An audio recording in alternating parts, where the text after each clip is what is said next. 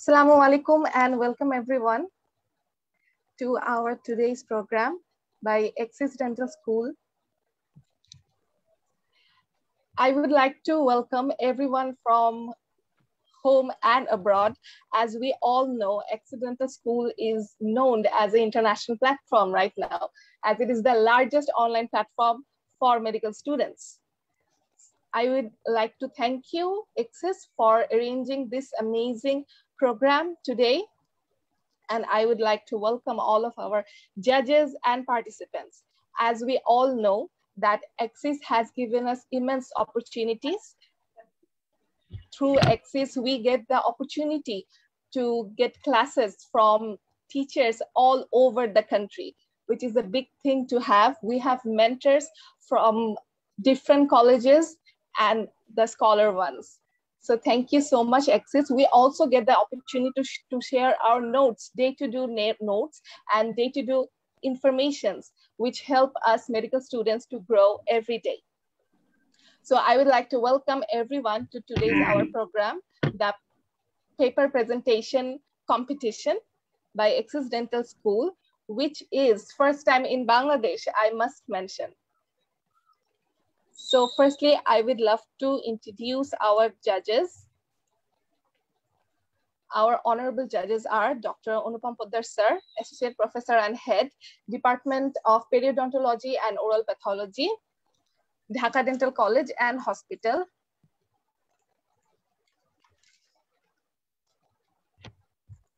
Dhaka Dental College and Hospital, Dr. Our foreign, uh, our foreign judges are Dr. Mallika Sethi Rishi Ma'am, MDS, FICD, FAOI, FAIOI, MLD Vienna, Periodontology and Laser Specialist, Visiting Professor Periodontology, University Jaume Cantillon University, Spain, Dr. Bennete Fernandes, sir, BDS, MDS Fellowship in Laser Dentistry, Associate Fellowship in Laser Dentistry, Faculty of Dentistry.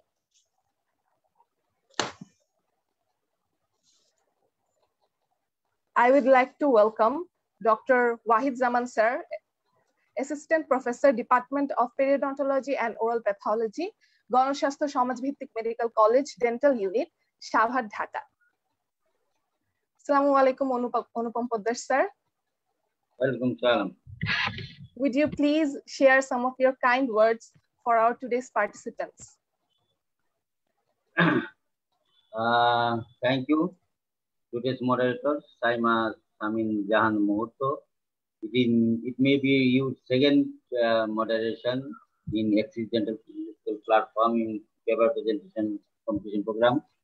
You are a student of third year, third phase student, 2017 and 2018 in Sapporo Dental College. Is not it? Yes. Hello. Hello. Hello, Morto. Hello. Yeah. Yes, sir. You are you are a student of Sapporo Dental College. Third phase Yes, student. sir. Yeah. Yes, okay. sir. Uh, welcome our today's judges. First of all, I would like to thank very known, well-known periodontist, our friend, Bangladeshi friend, Professor Dr. Mallika Sethi, MDS, FICD, FAY, FAIOI, MLD Vienna, periodontist and laser specialist, visiting Professor Periodontology, Catalan University, Spain.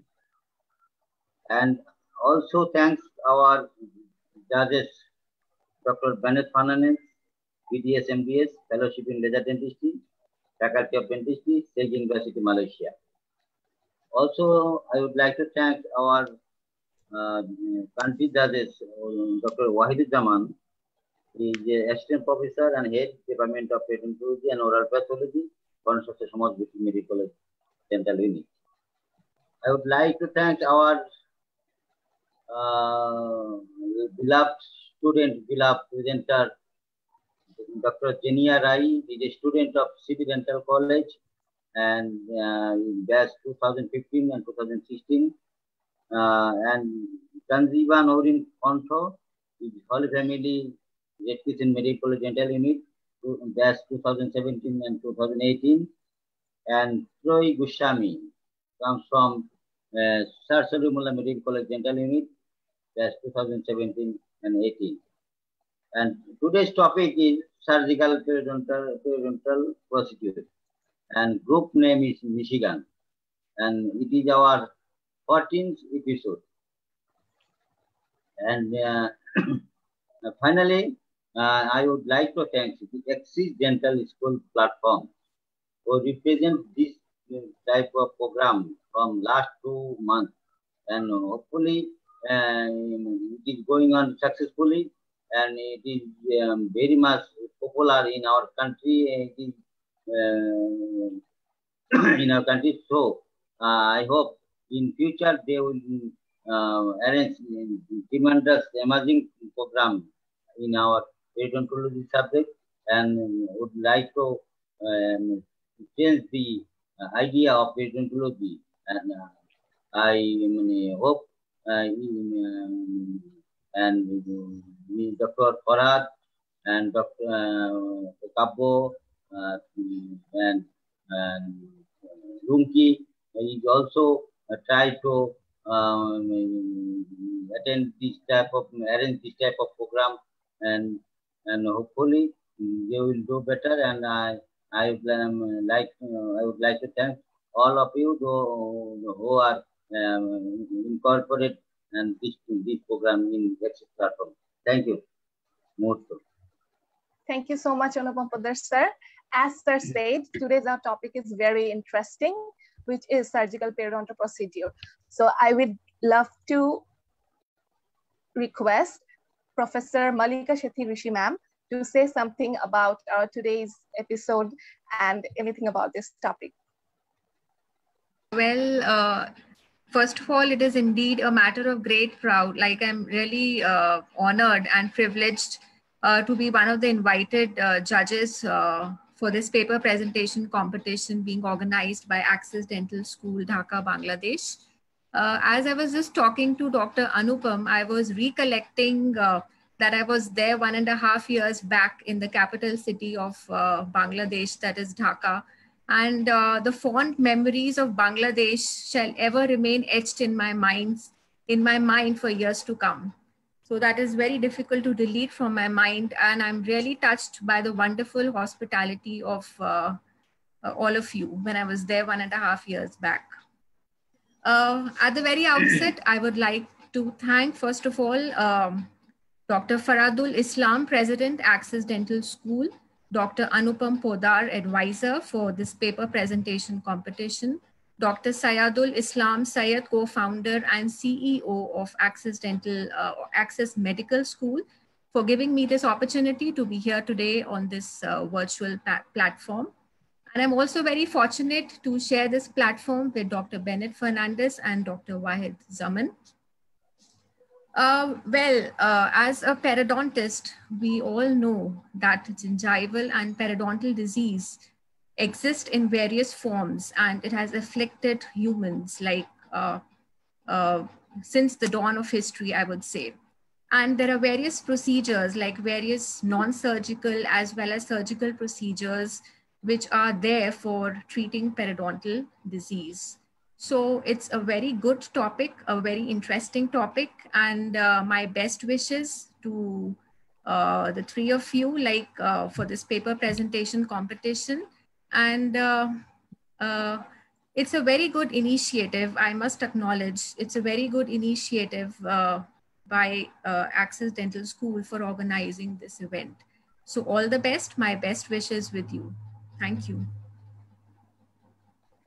Thank you so much, ma'am, for your words of wisdom. As we have heard that periodontology is the heart of dentistry. So thank you so much again, Axis Dental School and Anupam Poddar sir, the advisor of our today's competition for organizing all of this. So as we go with the episode 14, I would like to hear from Dr. Ben Fernandes sir. I would like to request you to please share some of your words with us. Okay, so I would say uh, good evening, everyone.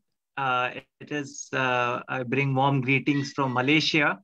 Uh, though I'm basically from uh, India, Uh, currently, it's good morning for me here in Malaysia.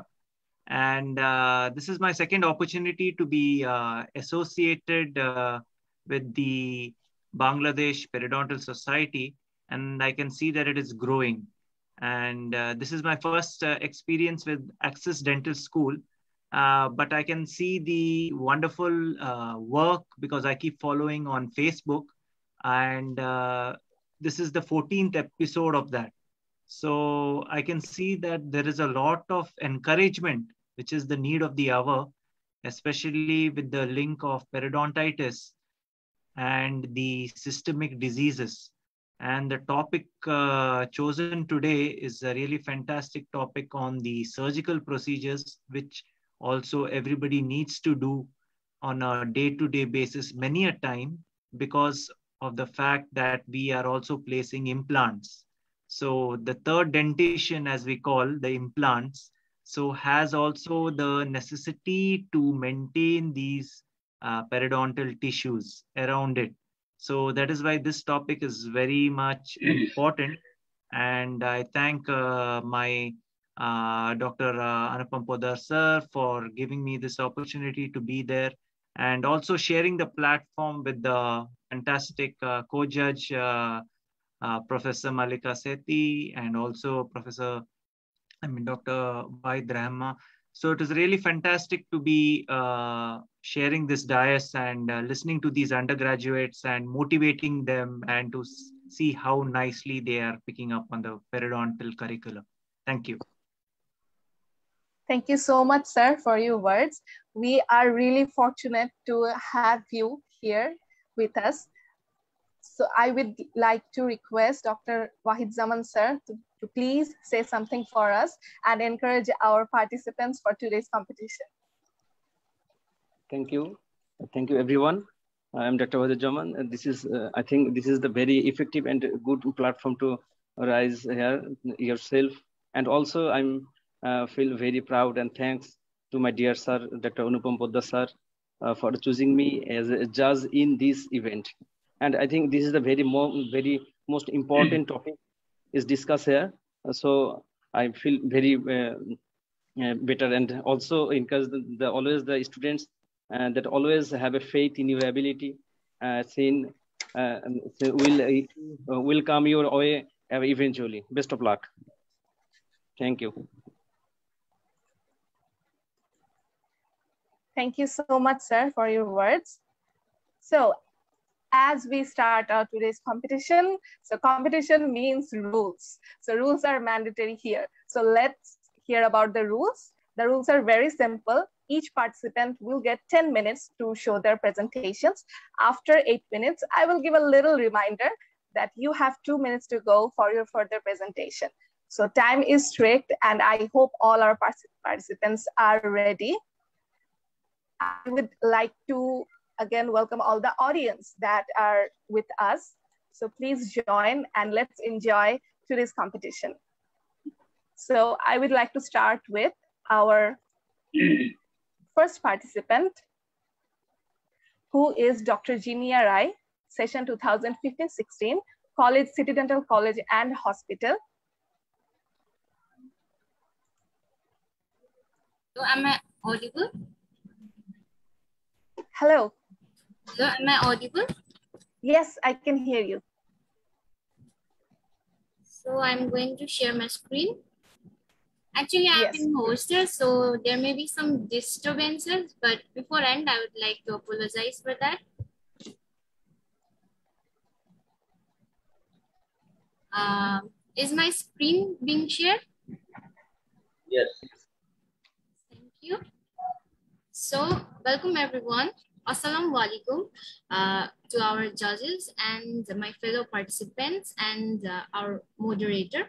Uh, I am Jeniya Rai from City Dental College and Hospital, and I'm, I feel very lucky and grateful to be a part of, uh, of this uh, paper presentation on the topic surgical periodontal procedure. And I would like to thank our organizer, Axis Dental School for that. The topic is uh, surgical periodontal procedure. And with no further delay, I would like to start it. First, the content.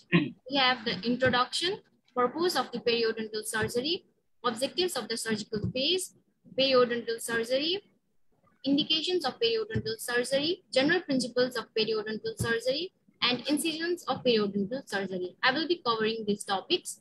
So the introduction is periodontal therapy is directed at disease prevention, slowing or arresting disease progression, regenerating lost periodontium, and maintaining achieved therapeutic objectives.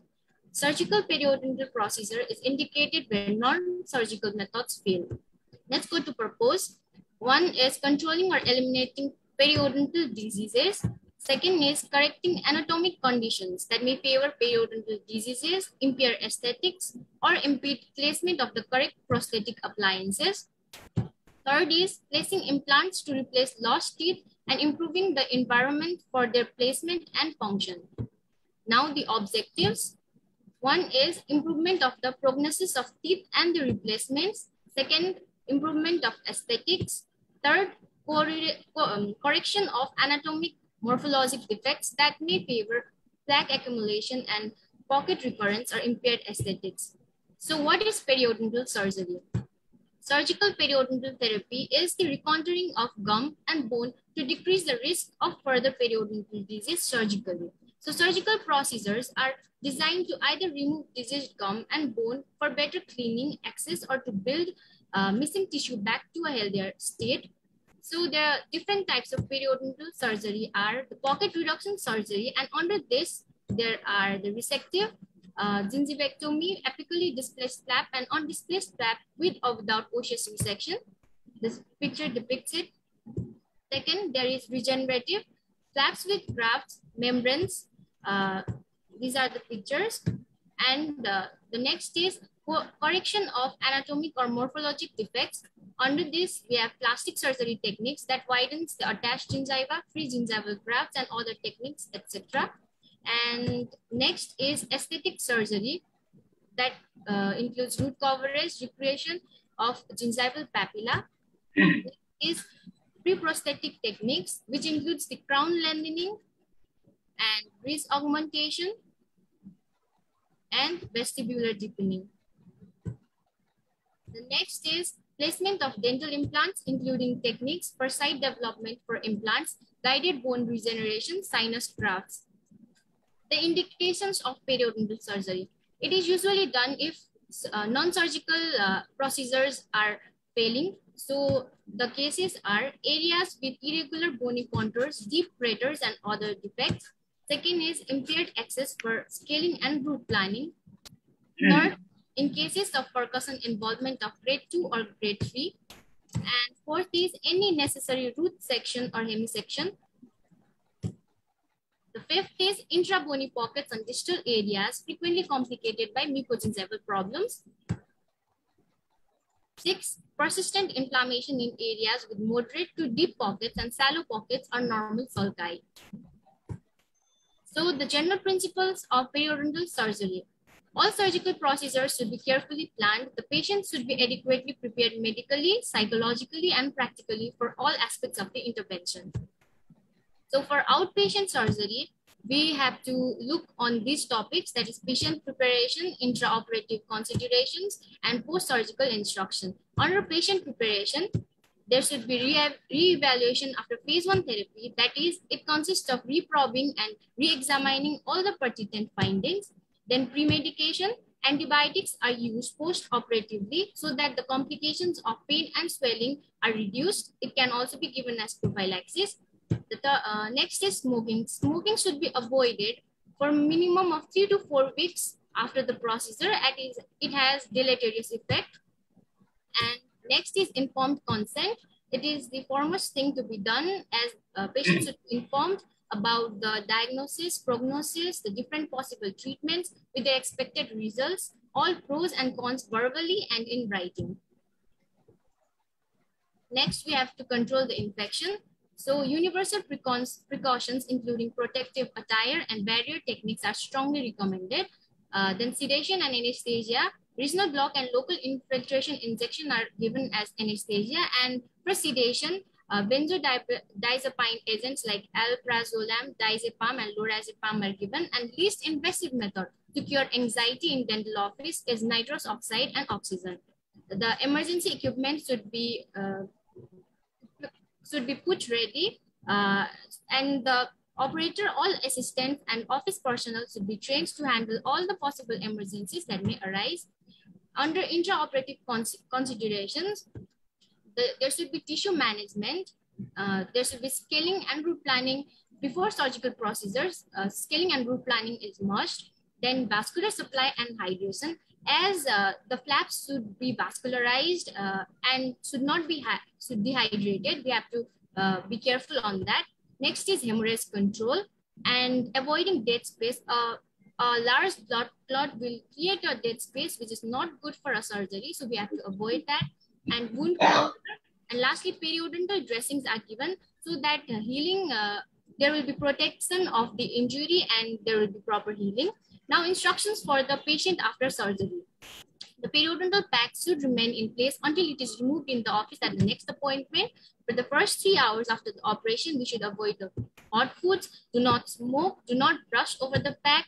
During the first day, apply ice intermittently on the face over the operated area, avoid exertion, and rinse with 0.12 percentage of chlorhexidine gluconate immediately after the surgery and twice daily. Now, incisions of the surgery. When accessibility and visibility of the root surface becomes difficult, we have to go for the uh, periodontal flap surgery and incisions should be made. Horizontal incisions are given in mesial and distal directions along the margins of gingiva, which are internal bevel incision, crevicular incision, and interdental incision. Now in detail, internal bevel incision, also known as first incision or reverse bevel incision, by this, the flap is reflected to expose underlying bone defects. It is given with number 11 or 15 surgical scalpel, and its indications are primary incision of flap surgery to correct bone morphology, thick gingiva, deep periodontal pockets, and crown lengthening. The advantages are it provides knife-edge margins, removes pocket lining, uh, the involved outer surface of gingiva becomes the attached uh, gingiva when it is positioned apically. So next is sulcular incision. It is second incision or crevicular incision. And uh, number 12 surgical blade is used to give this incision. Its indications are narrow band of attached gingiva, thin gingival margin, shallow periodontal pocket, as a secondary incision of flap surgery for regenerative procedures, and lastly to reduce post-operative gingival recession. Third is sorry to sorry to interrupt, Dr. Jeniya. We have crossed eight minutes. You have two minutes to go. Thank you for the reminder. The next is interdental incision. It is also called the third incision and it separates the collar of gingiva that is left after the first two incisions are given.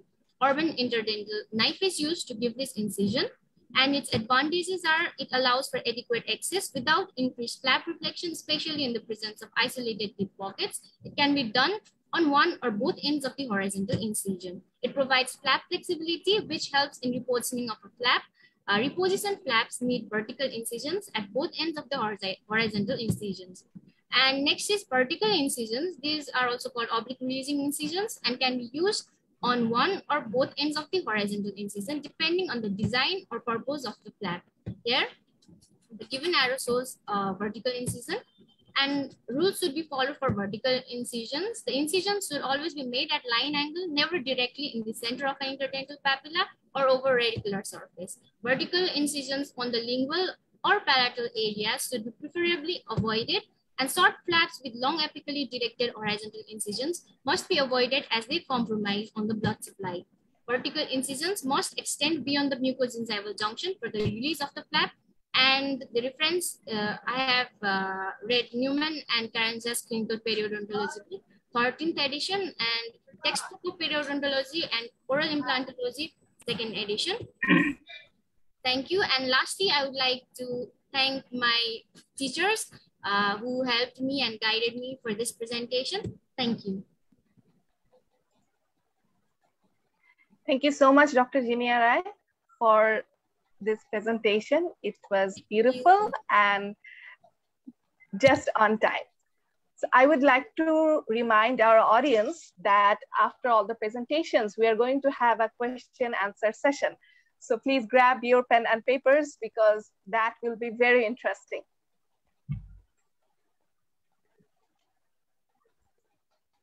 So now I would like to request our second presenter, who is Dr. Tanjiba Nouren Kontho from Holy Family Red Crescent Medical College Dental Unit, session 2017 and 18. Please present your screen and you may start your presentation.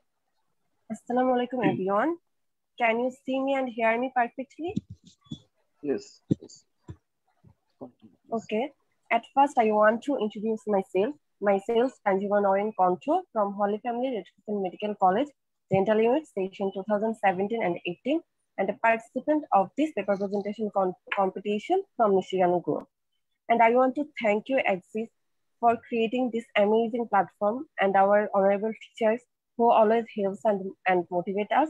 And best of luck to my fellow participants. Let's not delay, let's start my presentation.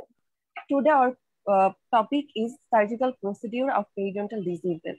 And the topics that given to me are gingival surgery, which included gingivectomy and gingivoplasty. And another one is flap surgery, which are common surgical procedure of periodontal disease. Let's start first with gingivectomy. What gingivectomy? The word gingivectomy means excision of the gingiva by removing the pocket wall. Gingivectomy provides visibility and accessibility for complete calculus removal and through root planning. This creates a favorable environment for gingival healing and restoration of a physiologic gingival contour. Although gingivectomy was widely performed in the past, improved understanding of healing and the development of sophisticated flap techniques have relegated it to a laser role in, uh, in periodontal surgery. However, it remains an effective form of treatment when indicated. Let's see a visual presentation of gingivectomy, which shows us before and after surgery looking. Isn't it beautiful? Now let's know the indication of gingivectomy. The indications are elimination of suprabony pockets if the pocket wall is fibrous and firm, and second one is elimination of gingival enlargements. Now we should know the contraindication of gingivectomy also. They are access to bone required, narrow zone of keratinized tissue, aesthetics, patients with high postoperative risk of bleeding. Now we will know the step-by-step -step procedure of gingivectomy. There are five steps. At first, the dentist injects local anesthetic into the gum to numb the area. Then he, will, he or she will use a scalpel or laser tool to cut away pieces of gum tissue. This is called soft tissue inclusion. Next, during the procedure, dentist will likely keep a suction full in, the, in your mouth to remove excess saliva. Next, once the tissue has been cut away, your dentist will likely use a laser tool to vaporize remaining tissue and shape the gum line. And the last step is our dentist put a soft putty-like substance and bandages on the area to protect our gums while they heal. That was all about gingivectomy. Now we move to gingivoplasty, which is similar to gingivectomy, though gingivoplasty is the process by which the gingiva are reshaped to correct deformities. Gingivoplasty is similar to gingivectomy, but with a different manner. This is a procedure performed to eliminate periodontal pockets along with the reshaping as part of the technique. Now, this is also a visual representation of gingivoplasty, which shows us the before and after surgery looking. Now, we all know about indication of gingivoplasty thick gingival margin, which is the first indication. And second one is treatment of gingival cleft. Third one, unsatisfactory gingival contour following gingivectomy and gingival asymmetry. Now let's go through the uh, case, case consideration, which might, we might know for this procedure. In the case of gingivoplasty, healing is rapid and complications few, but gingivoplasty do not require flaps or sutures and while these procedures may seem stressful, patients in good health can be expected to cope with them well. Still, patients under medical treatment or suffering from certain blood disease should consider the doctor's advice before taking the option into consideration. That's all about gingivoplasty. When I talk about gingivectomy and gingivoplasty, it looks similar, but there are quite some differences, which is gingivectomy is the removal of gum tissue, whereas gingivoplasty is the reshaping of gums to improve functions, aesthetics, and other appearances. Now I want to go through my next uh, topic, which is flap or flap surgery. Before knowing about flap surgery, we all should know about definition of flap. What is flap? Flap is a portion of tissue or tissues transposed from a donor area to a recipient site with its own vascular supply. Here I add a picture of flap. Now, now I want to share you with periodontal flap. Periodontal flaps are used in surgical periodontal therapy to accomplish the following. Access for root instrumentation, gingival resection, osseous resection, and periodontal regeneration. Now, now I want to tell about indications of flap surgery. To gain access for root development, bone regeneration in infrabony defects, pockets on teeth in which a complete removal of root adherence is not possible by non-surgical therapy, areas with irregular bone contours or defects which need to be corrected, infrabony pockets distal to the first molars in grade 2 and grade 3 uh, fractures.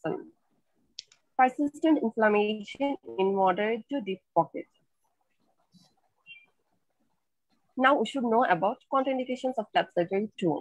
They are lack of patient motivation or compliances, acute oral infections, which may spread, systematic condition or immune compromised patients, such as uncontrolled diabetes mellitus patients.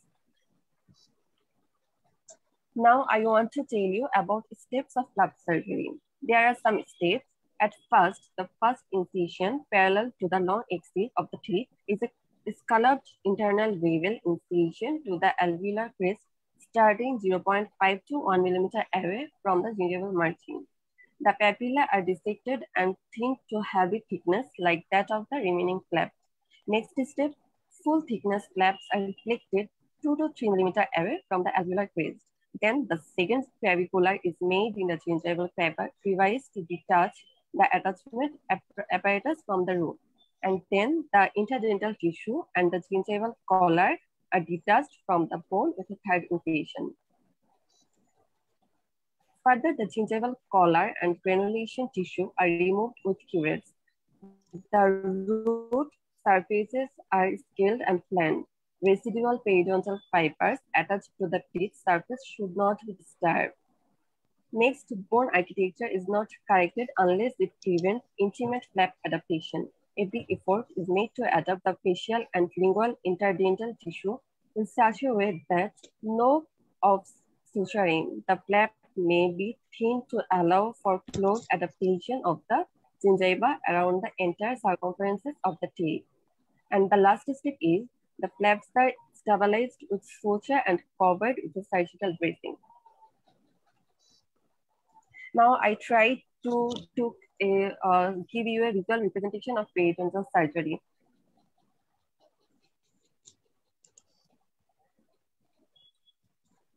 Although my uh, co-participant, Dr. Jeniya Rai Apu, talked about incision, but I thought that as uh, incision is fundamental for any surgery, so I want to tell you in short about incisions. At surgical incisions in a cut made through the skin and soft tissue to facilitate an operation or procedure. Periodontal surgery involves the use of horizontal, medial distal, and vertical, which is occlusal apical, uh, apical incisions. Surgical blade is used most often to make these incisions. We can say that incisions are of two types, horizontal incisions and vertical incisions. What is horizontal incisions? horizontal incisions are directed along the gingiva in a mesial or distal direction. Flex can be reflected with the use of only horizontal incisions. Next, I want to tell you about vertical incisions. Vertical or oblique releasing incisions can be used on one or both ends of the horizontal incision. depending on the design and purpose of the flap. Vertical incisions at both ends may be necessary if the flap is to be spatially displaced. Vertical incisions must extend beyond the mucogingival junction to reach the alveolar mucosal junction to reach the alveolar mucosal. The, uh, this allows for the release of the flap to be displaced. In general, vertical incisions in the lingual and palatal areas are avoided. That is all about my presentation. I tried my level best, uh, but uh, dear teachers and judges, pardon my mistakes and best of luck, uh, luck to my co-participant and Allah Hafiz. Thank you so much, Dr. Tanjiba, for your amazing presentation. I hope the judges love the presentation. So I would again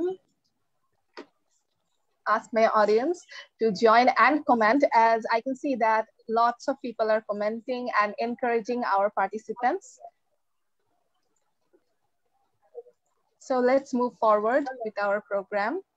Our third participant is Dr. Dr. Troyee Goswami from Sir Salimullah Medical College Dental Unit, session 2017-18. I would like to request you to start your presentation, please.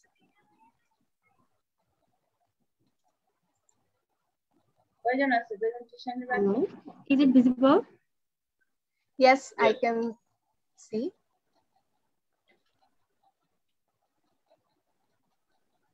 Namaskar to everyone. Uh, I am Troyee Goswami from Sir Medical College. Now I am in fourth year. Uh, and my medical college is the oldest medical college in our country. And thanks to Axis Dental School for organizing a, a remarkable competition. And I'm grateful, I'm very grateful to my honorable judges and my respectable teachers uh, to give me a uh, precious opportunity so uh, my topic is uh, peri uh, surgical periodontal procedure. So my content is uh, surgery, free gingival graft, connective tissue graft, vestibuloplasty, frenectomy, frenotomy, uh, osseous surgery, osteotomy, and periodontal regeneration, wound healing, bone graft materials. That's my content. So my first topic is mucogingival surgery. Mucogingival surgery, that means uh, it is a surgical uh, procedure for the correction of relationship between uh, gingiva, between gingiva and oral mucosa membrane. And but the three uh, specific point uh, attas uh, vestibule and attas gingiva and the frenula. And this is the frenula. So uh, it is a very hard to memorize it. So this is a mnemonic how to memorize it. Argentina versus uh, France. Argentina uh, that means হচ্ছে at gingiva vs that means হচ্ছে vestibule shallow and france that means হচ্ছে uh, so it is easy to memorize it then uh, mucogingival surgery first of all topic uh, is uh, free gingival graft free gingival graft uh, that means হচ্ছে widen uh, bed of uh, band of a keratinized tissue then হচ্ছে connective tissue graft this is a connective tissue graft uh, root coverage that means হচ্ছে root coverage root coverage. Then it's a vestibuloplasty. Vestibuloplasty, that means the deepen the vestibule. This is the vestibuloplasty process and deepening, uh, deepening the vestibule. And my next uh, topic it is uh, free gingival graft. Free gingival graft, a free graft by definition is trans, uh, planted without nourishing blood supplies, So it must undergo revascularization from the recipient vein. It, has two sides, donor side and a recipient side. This is the this is the um, free gingival graft surgery. And uh, um, it are the no minimum weight of attas gingiva has been established, but two millimeter is good amount. And attas gingiva, mainly attas gingiva, attas gingiva uh, helps enhance uh, plaque removal, improves aestheticness, and reduce the inflammation around the teeth. And ideal thickness is 1 to 1.5 millimeter. And then connective tissue graft. Connective tissue graft, uh, this is a connective tissue graft process to harvest the inner connective tissue only and not the epithelium. So it is less painful and patient during healing and donor side should have enough attas gingiva and palate. That means the palate. Palate is the uh, common site for connective tissue graft and also free gingival graft. Uh, next is uh, connective uh, tissue graft surgical technique. First of all, it is a root preparation. It is root preparation that incision uh, design tunnel uh, technique in the uh, recipient side. Then donor side incision. This is a first palatal donor side incision and donor side incision, second palatal incision, and it is parallel to the long axis of the hip. And then donor side. This is the donor side and uh, it is the uh, recipient side. And before, before operation and after operation, this is the condition. And then mucogingival surgery, another topic is frenectomy. Frenectomy, that means uh, this is a, uh, we know that this is a frenulum. This is a frenulum. Frenectomy, that means the removal, completely removal of the frenulum. So uh, in this picture, we uh, I show that the removal of the frenum that is called frenectomy. And frenotomy, frenotomy that means just incision, incision of the frenum. Then indication is uh, frenectomy when uh, papillary frenal attachment, uh, gingival frenal attachment, then ankylosis. And uh, technique of the frenectomy. Technique of the frenectomy, uh, there are uh, some technique. Uh, first of all, uh, conventional or classical technique is uh, frenular, when frenular attachment is developed, uh, incision done, then incision, then uh, fiber attachment removal, then suturing and post operation one month. This is the condition.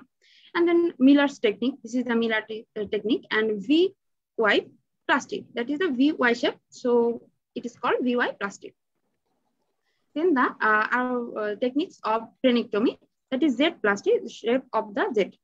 And uh, frenectomy by using electrocautery uh, when a patient having a bleeding disorder, then it is done. And then laser frenectomy. And uh, then osseous surgery. Another topic is uh, osseous surgery. Osseous surgery, that means it's a modified bone uh, support or altered by periodontal disease, either reshaping the alveolar process to achieve physiological form without removal of alveolar supporting bone or removal of alveolar bone. This is the before operation and after operation. And uh, uh, uh, architecture. There I have three architecture of bone uh, because uh, a clinician or a dentist when visualize the bone architecture, then uh, he determine the types of bony defect. So first of all, positive architecture. Positive architecture that means it is it is also interdental bone and it is radicular bone. When interdental bone is coronal to the radicular bone is called positive architecture. And when interdental bone is apical to the radical bone is called negative architecture. And when the interdental bone and radicular bone at the same height is called flat architecture. And then ostectomy. Ostectomy that means it's a removal of the radicular or interradicular supporting bone and to eliminate the osseous deformity. That is the site of ostectomy. That is the site of ostectomy. Then osteotomy. Osteotomy means removal of non-supporting bone. Mm. In this picture, I show you maxillary osteotomy.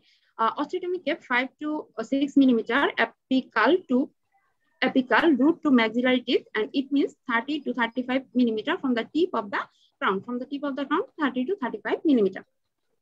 And then periodontal regeneration. This is the periodontal regeneration, uh, uh, guided tissue generation. First of all, guided tissue generation uh, regenerate uh, in this content regenerate bone cementum and periodontal ligament. Then barrier membrane is the tank this is a membrane. This is a membrane. Uh, prevents soft tissue downgrowth and permits hard tissue downgrowth. Bone graft is the damage osteoconductive and osteoinductive and osteogenic.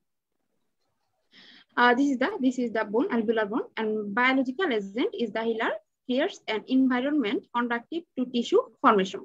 This is the periodontal regeneration and then mechanism, mechanism of mechanism of healing after surgery. Uh, uh, first of all, regeneration, then repair, reattachment, new attachment. So how is uh, memorize it? Uh, Reinho, Reinho is a Chinese uh, famous singer.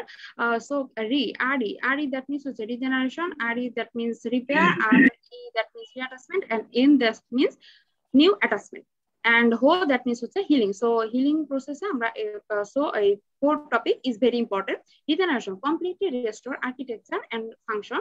Repair, not completely restore architecture and function involving healing by scar or formation and long junctional epithelium. Reattachment, reunion of epithelium and connective tissue with root surface after incision or injury. And new attachment, embedding embedding of a new periodontal ligament fiber into new cementum that has have been previously deprived of its original attachment. This is the mechanism of healing.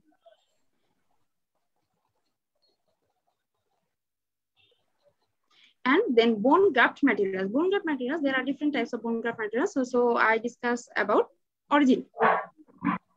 Uh, autograft, autograft that means from the same individual, uh, example extraoral that means iliac crest, tibia, fibula, ribs, and intraoral that means the chin, the ramus of the mandible, tuberosity, and allo allograft from different individual of some species, uh, mineralized and demineralized freeze-dried bone allograft. And then xenograft. From different species, usually bovine, uh, bovine and porcine, bovine-derived and porcine-derived, alloplast, synthetic or inorganic, hydroxyapatite and calcium apatite. And my uh, that's all about my presentation and reference from uh, clinical periodontology, New, Newman and Carranza 13 edition and 10 edition and photos from uh, Google. Thank you, everyone. And please pardon my mistake from my judges. Thank you so much, Dr. Troyee Goswami. So this was undoubtedly an interesting presentation, not only with knowledge, also with tips and tricks. So thank you so much. Now, for the judges, I would like to mention the times of our each presenter. As giving the deadline of 10 minutes, Dr. Jeniya Rai has took 9 minutes 48 minutes. Dr. Tanjiba has take 9 minutes 36 seconds and Dr. Troyee has taken 8 minutes 38 seconds. So I hope this helps a judgment. Now, I would like to start the question answer session of our today's competition. Firstly, I would like to request Dr. Professor Mallika Sethi Rishi ma'am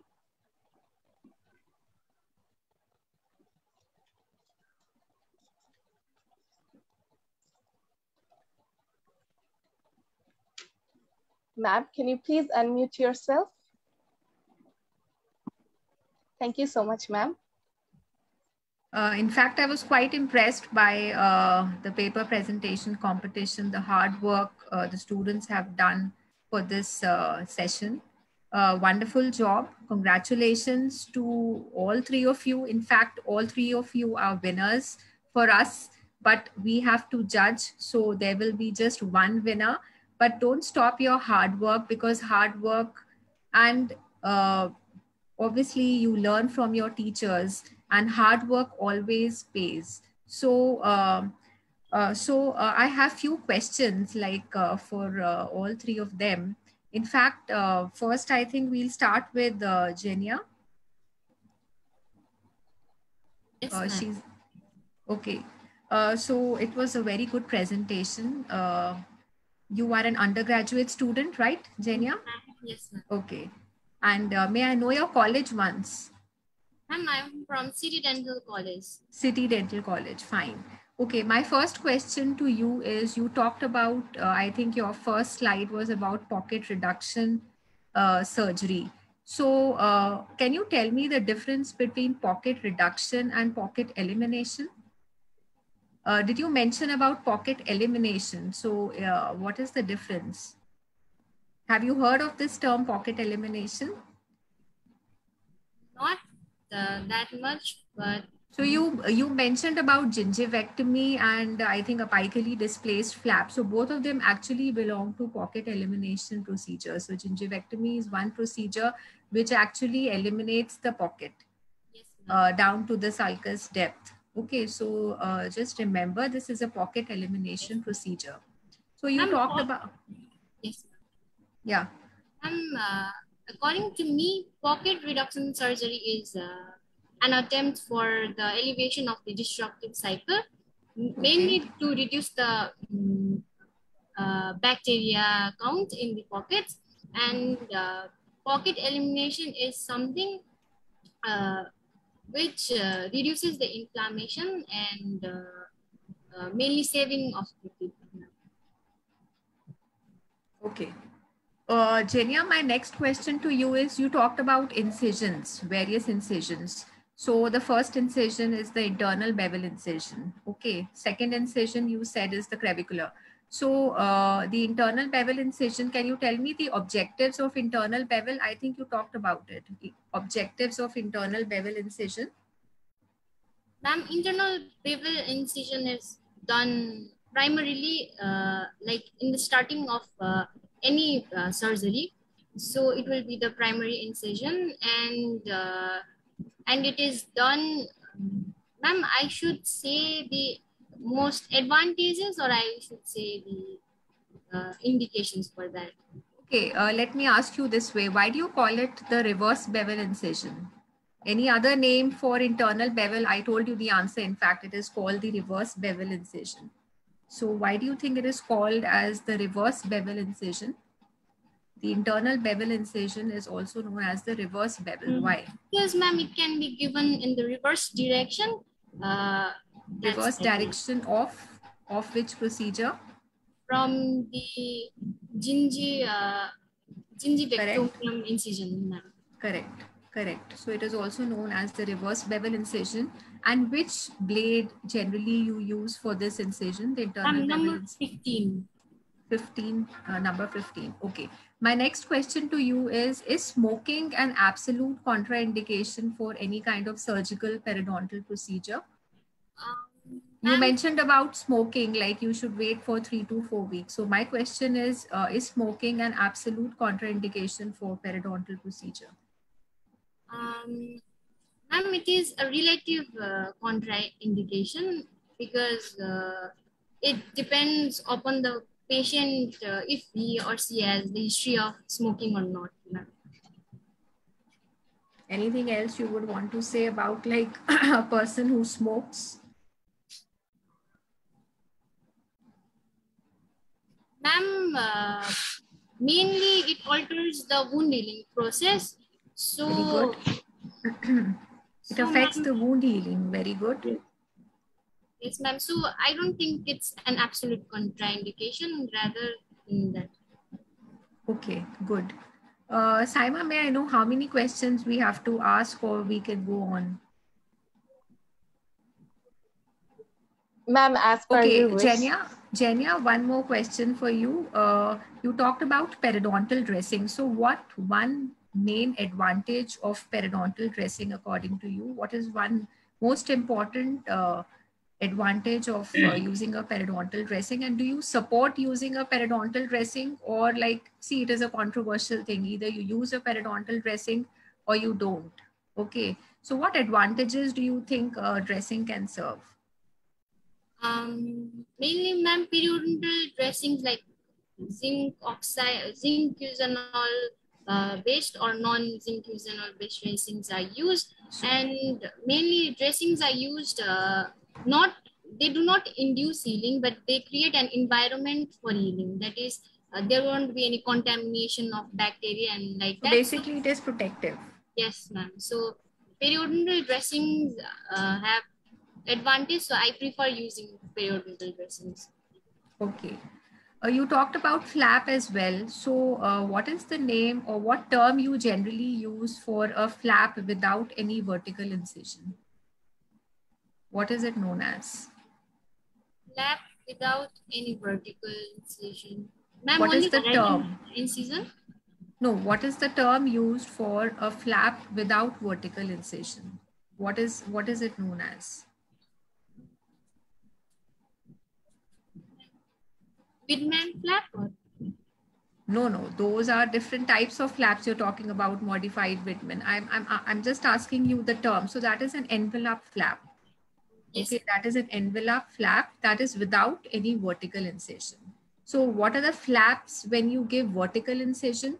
Can you uh, uh, name two major flaps when you give vertical incision? What are what are they known as?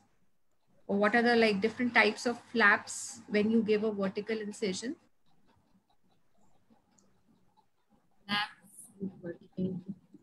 So you have one vertical incision, you have two vertical incisions. Any idea? Okay, a simple question. Uh, can you name some hemostatic agents? You talked about, I think, patient preparation and stuff. So uh, can you name some hemostatic agents which are generally used for uh, periodontal surgeries? Yes, ma'am. You can just tell me the names. Yes, ma'am. Hemostatic agents, uh, they are used for bleeding control and uh, commonly used uh, hemostatic agents in case of periodontal surgery can be uh,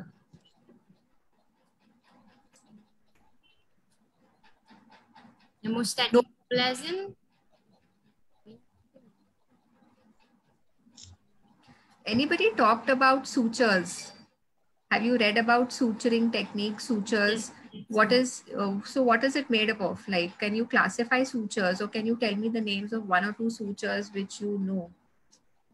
Ma'am, there can be absorbable and non-absorbable. Uh, One example of non-absorbable?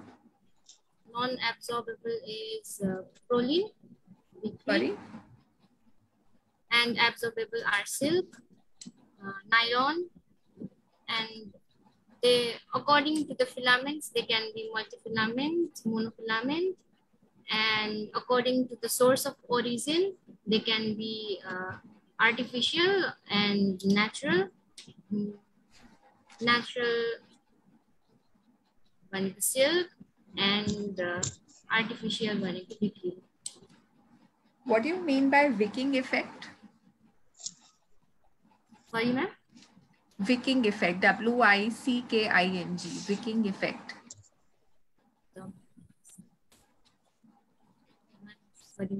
It's something related to sutures. Since you talked about monofilament, multifilament, what is wicking effect?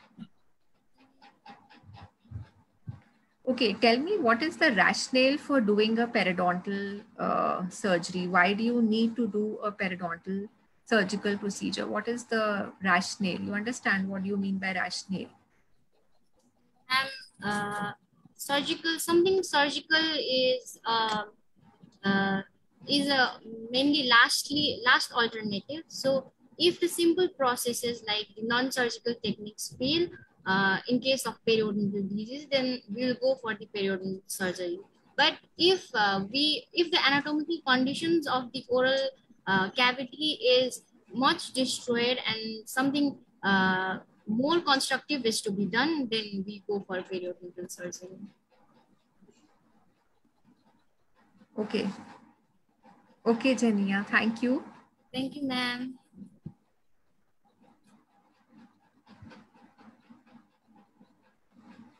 So I have to ask the next participant or we are like,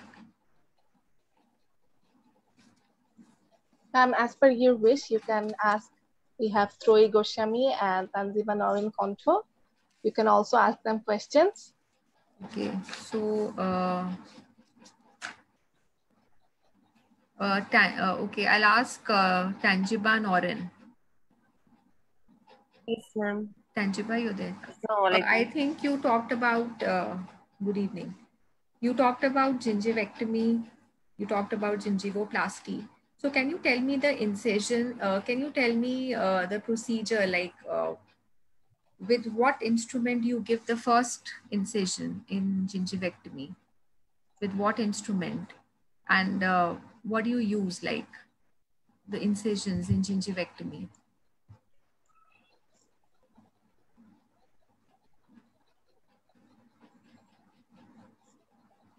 you have like knives. You've heard of knives? Kirkland knife, Orban's knife. So, uh, what are the instruments generally used for a gingivectomy procedure?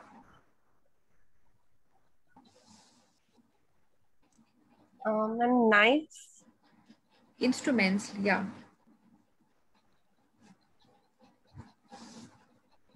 Sorry. Okay, you don't know. Okay. Can you throw some light on uh, gingivectomy by chemosurgery? What chemicals you use for uh, gingivectomy procedure?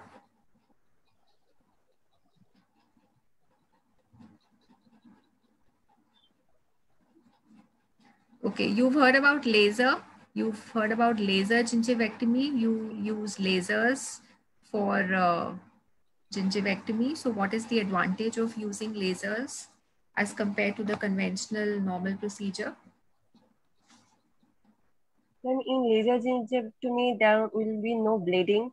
So uh, the patients who have bleeding problem, uh, they don't have any problem for this. Uh, it is more safe, time consuming. Okay. Anything else? There is less, less discomfort to the patient. Yes, ma'am. It's like quick. Uh, ma'am, I think side effects may be less. Sorry? Ma'am, I think that side effects may be less for laser gingivectomy. Let me tell you, uh, I asked you about chemosurgery. So two chemicals which are generally used are uh, sodium hypochlorite and 5% paraformaldehyde. Okay, so you have different methods like surgical gingivectomy by chemosurgery and by laser. So what one main difference do you think uh, between ginger? I think you talked about differences between gingivectomy and plasty, if I'm not wrong. Yes. You talked about the differences, right? So can you tell me one main difference between yes, gingivectomy and gingivoplasty? One main difference when we attempt. in- Sorry. Um, both are for aesthetic purpose. For in gingivectomy, we have to remove gum. But in gingivoplasty, there may not be removal of gum, but uh, reshaping of gum. Uh, see, gingivect. Okay, let me put it this way. If you have pockets, okay, and your gingiva is swollen, so you will do gingivectomy or gingivoplasty. In I'm asking you. gingivoplasty. Gingiv gingivoplasty is always done in the absence of pockets. Okay. Gingivectomy in the presence of. You talked about indications. So indications, your first point was presence of suprabony pockets. You understood? So this is one main difference between gingivectomy and plasty. Plasty is always done in the absence of pocket and gingivectomy in the, like when you have suprabony pocket, suprabony periodontal abscess and whatever indications you mentioned. Okay. So uh, did you talk about, uh, I think your main uh, presentation mainly focused on gingivectomy, then a little bit about flap. So did you talk about healing after gingivectomy? Uh, no, ma'am. So when do you think your uh, epithelial repair, generally, you know, epithelium, it gets, epithelial repair takes place. So after how much time of gingivectomy does this happen? I don't know, ma'am. Sorry. Okay. You, you've heard of GCF, gingival crevicular fluid? Yes, ma'am. You've heard of GCF. So do you think, very simple, do you think after gingivectomy procedure, your GCF flow, that is uh, the flow of GCF will increase or decrease? My, ma'am, I think it will be decreased. It will? Decreased. Initially, it will decrease or increase? Ma'am, I think it decreased. Okay, so initially it increases. Maximum flow reaches after one week. Maximum flow of GCF is after one week and thereafter gradually it declines. Okay, you talked about flap as well. You Yes, talked about flap. Can you name the three incisions of flap surgery? Horizontal incisions and vertical incisions. Okay, can you classify flaps? Can you classify flaps? You've heard of full thickness, partial thickness flap? Yes, ma'am. You've heard of that. So what is that actually? What is full thickness flap?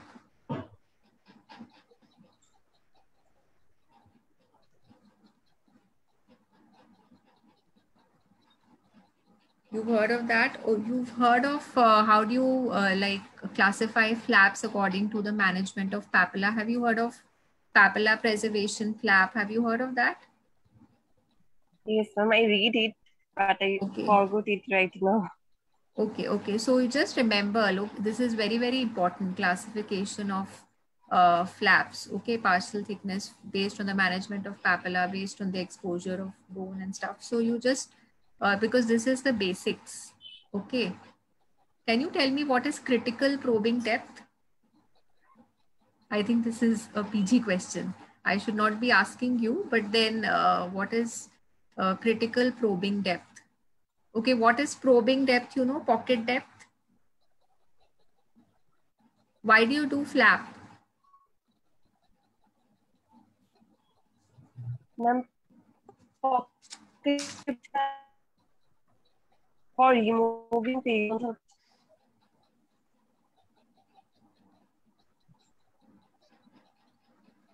Okay, uh, thank you, uh, Tanjiba. Thank you. Thank you so much. Thank you, ma'am. Uh, a next participant, Troy. Okay, ma'am. Troy. Okay, you said you are from which college? Sir Salimullah Medical College Dental Unit. Okay, nice presentation. I think you talked about more about like uh, mucogingival surgery, right? What is the other name of mucogingival surgery? Or what is the newer name of mucogingival surgery?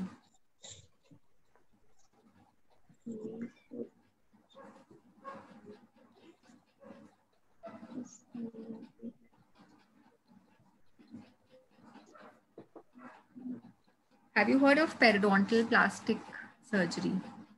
That is the other name. It is a newer name, periodontal plastic surgery. Okay. Uh, you talked about various uh, frenal attachments. Can you classify frenal attachments and it was given by whom and in which year? Can you question please? You talked about uh, frenal attachments, frenum. You talked about it, no? Frenal. Capillary. So can you classify frenal attachments for me?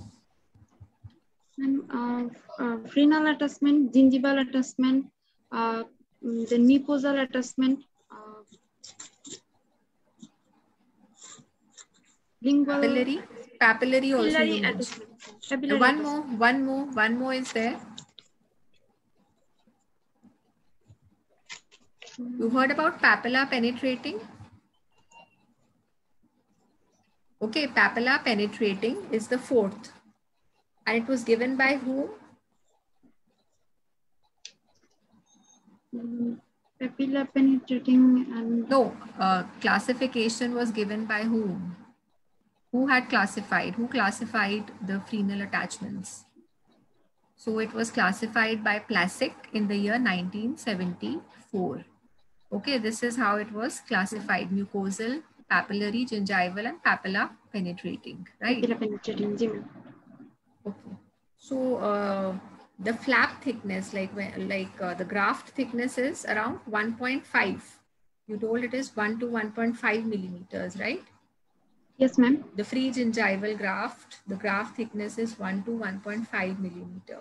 You've heard of this term creeping attachment. Creeping attachment. It is related to your free gingival graft.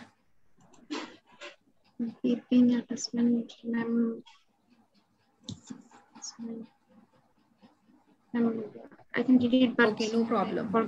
My next question is, can you elaborate on uh, the steps uh, in osseous surgery, osseous surgical procedure? What are the steps? You talked about osseous resection, right? Osteectomy, osteoplasty. So what are the steps? Right. So what are the steps in osseous resection? Steps. There are four steps. And uh, first of all, uh, incision. Steps in osseous re- resection procedure.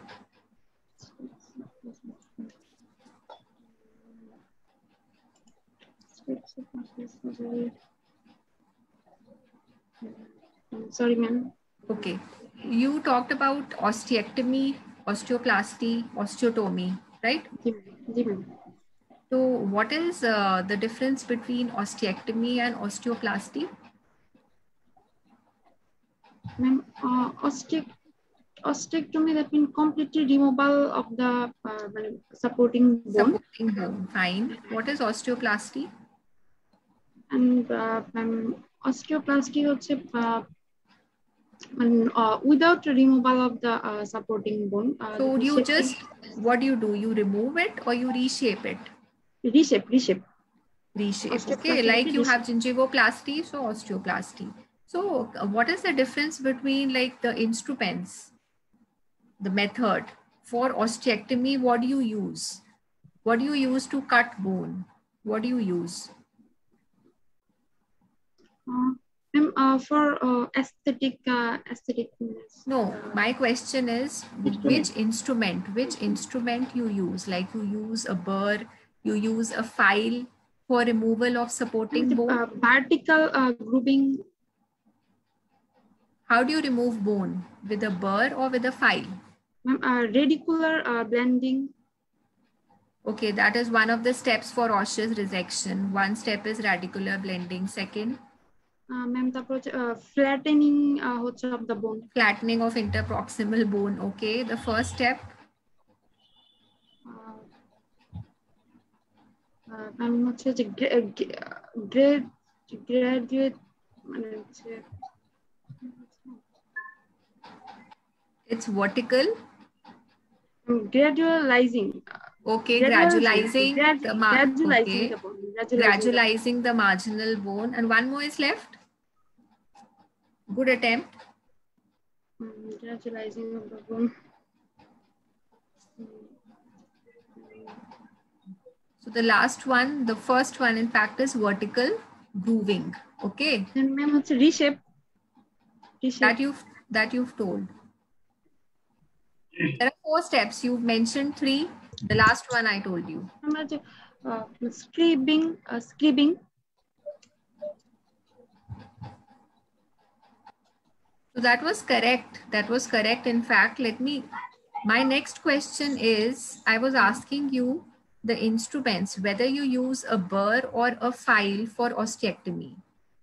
And similarly for osteoplasty, what do you use? Whether you use a burr or a file. I'm asking you the difference. Which instrument you normally use?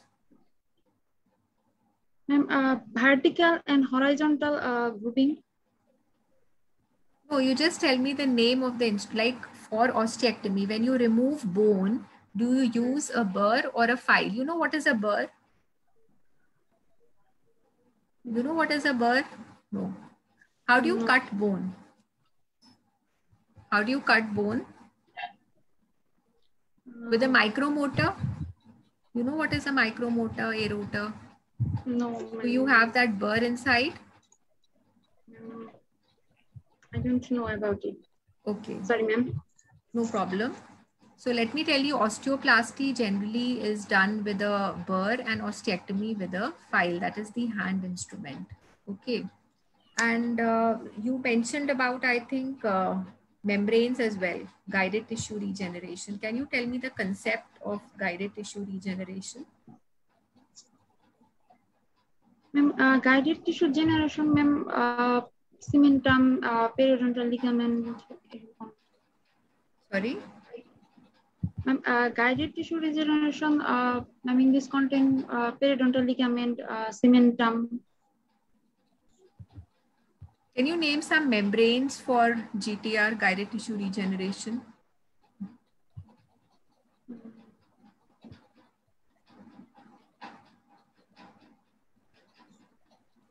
Just the names of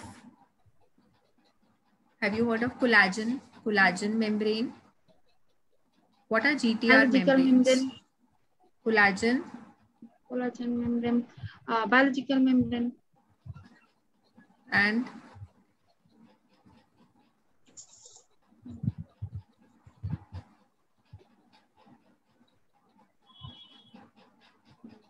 sorry ma'am Okay, you talked about osteoconductive, osteoinductive, right? Somewhere uh, in your slides, you mentioned about osteoconductive. So osteoconductive is a physical process or a chemical process? You know Uh, what is osteoconduction, osteoinduction? ma'am uh, uh, physical process Osteo, ma'am osteoconduction is a And physical process. Okay. Can you name some bone grafts? Just the names. Names of bone grafts.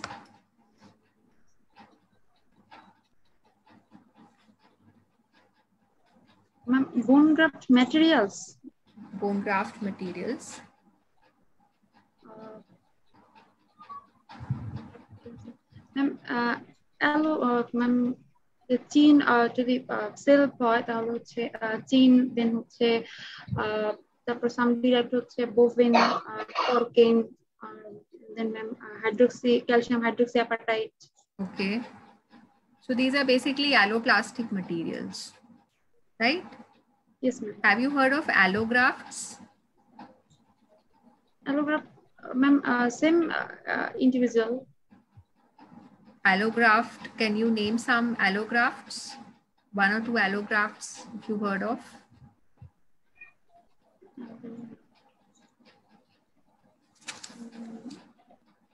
CBG graph and CBG graph.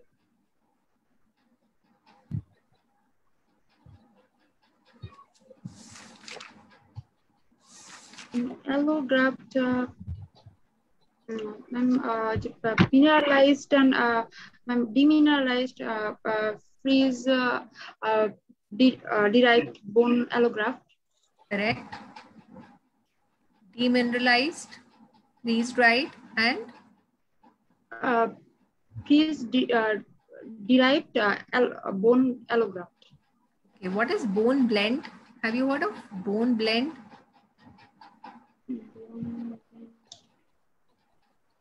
No ma'am you just tell me it comes under which category of bone graft?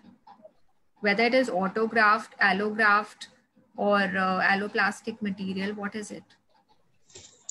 ma'am question please I'm saying what is bone blend? ma'am uh, other human allograft মানে other uh, individual of the same species Yeah. allograft no, no. Hmm. Can you name some autografts? Examples of autografts. Autografts, uh, uh, uh, extra oral, uh, iliac crest, then tibia, uh, then হচ্ছে ribs, uh, intraoral ma'am chin, uh, then হচ্ছে uh, uh, uh Ramus.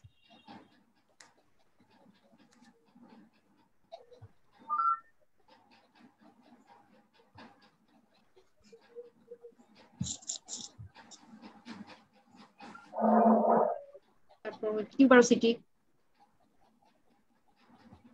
Hello. You talked about i was not able to hear you sorry. Autografts? Um, autografts extra oral that means হচ্ছে T B R. then হচ্ছে yeah. iliac crest and yeah, intraoral that means হচ্ছে chin uh, then হচ্ছে ramus uh, the mandible then হচ্ছে tuberosity. Okay. Can you tell me uh, if at all you've read about uh, the ratio of calcium and phosphate in hydroxyapatite? Hydroxyapatite is basically made up of what uh, uh, I would say material. It is calcium and phosphate hydroxyapatite. So can you tell me the ratio?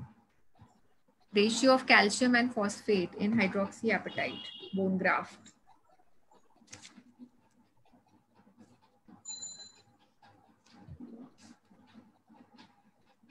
Sorry ma'am Okay, you've heard of PerioGlas?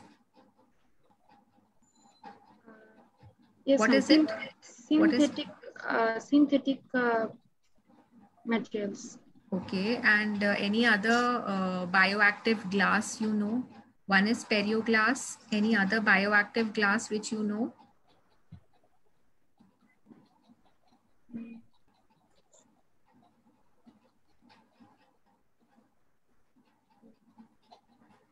Bioactive um, perio glass and synthetic uh, glass Have you heard of BioGran? What is the diameter of uh, the particles? Diameter of PerioGlas? The diameter of the particles which are there? diameter ma'am. sorry ma'am Okay. forget. Uh, thank you, Troy. Thank you. Uh, in fact, a great effort and great attempt by all three of you. So for me, all three are winners. Thank you, ma'am. Thank you so much, ma'am, for your Thank you, thank incredible you. questions. And I surely know that these questions also help the participants to know more about the topic and about the presentation. So next, I Thank would you. like to request Dr. Bennete Fernandes, sir, to please ask questions to our participants. Okay, so uh, you all have finished one round of uh, questions and uh, you must have been already saturated with these questions. So I will uh, keep my questions a little bit more uh, simpler, keeping in mind the uh, UG level, which though these questions uh, are commonplace, which uh, Dr. Mallika has uh, asked in the Viva Voce exams of the undergraduate level in India. And uh, just with some one or two, three questions which were of PG level, but otherwise uh, they are very much uh, asked in uh, India. Uh, and uh, since you're having the support, uh, thanks to Dr. Anupom Poddar sir, to get ex- exposure to these kind of levels, this kind of training will help you if in case you're planning to write some foreign exams like Australia or uh, MFDS of uh, UK and things like that. That's when you will remember sir. That's when you'll remember Dr. Mallika. That's when you'll remember me about these questions. Oh yeah, because there is a lot of perio which is been asked. Okay. So the uh, so let's get to the questioning now. So coming to the first uh, Jenny right? Yes, sir. Am I? Yeah. So uh, you presented the uh, beginning, like an outlook into periodontal surgery, right? I mean, how periodontal surgery starts and when do we do? So suppose a, a patient comes, okay? Now let's say you have graduated. Now suppose a patient comes, when will you consider this patient uh, let's say he's having now when you check seven millimeter pockets all over the i'm not going to talk too much about clinical attachment loss because then you might get lost away. So let's just talk from pocket sense. Uh, seven millimeter pockets. So how would you go about first in treating this patient Or if a patient with uh, seven millimeter pocket depth, yes. He's come to you now and say do my treatment. Then there is the case of uh, pocket depth of seven millimeter. Then firstly, sir, we will check the periodontal condition uh, and we'll go for the uh, uh, scaling and root planning as the pocket depth is uh, more. And after that, uh, we'll give some medications to help the healing process. Um, we have to uh, give periodontal uh, dressings uh, and after a week we will be observing the patient um, so i think if uh, if with that uh, procedure the treatment is successful then it is okay but if further complications arise then we have to uh, move on to the surgical Okay, so now you did the scaling and root planning. Okay, I just want to highlight one point here. So the new, I mean, it's not new anymore. The new classification has come out now. It's called the 2017 International Workshop Classification, which has been ratified by the American Academy of Periodontology as well as the European Federation of Periodontology. And having said that, now that is like old talk because now we talk about the treatment guidelines which came about recently. now, in these new treatment guidelines, we actually do not even use these terms scaling and root planing. The new terminology, what we use is PMPR. We call that as professional mechanical plaque removal. Okay, so I'll repeat it again. PMPR, professional mechanical plaque removal. So you will be doing that. It is a, slightly modified term of what we would be calling as periodontal debridement or what you would also in simple before we used to say oral prophylaxis which may be used very routinely for everyone. But we should go one step further into that. Now, having said that, so now your seven millimeter pocket, once you treat, I'm sure it there will be some healing, but that seven millimeter pocket is not going to become your, what is the normal healthy gingival sulcus? The second question. Then I will continue with my discussion. So the normal pocket depth? Uh, you do not say normal pocket depth. You will say normal sulcus depth. There is nothing pocket is uh, hmm. pathological, pathological condition yes, yes. Uh, so what is the normal uh, uh, sulcus depth? Sir, three meter or less than that. Three millimeter or less than that yeah, so around 2 to 3 millimeter. So now continuing with that, we did the scaling and you got a pocket reduction of around 1 millimeter. So now your 7 millimeter pockets, which you checked with your periodontal probe became 6 millimeters. Yes, yes it reduced.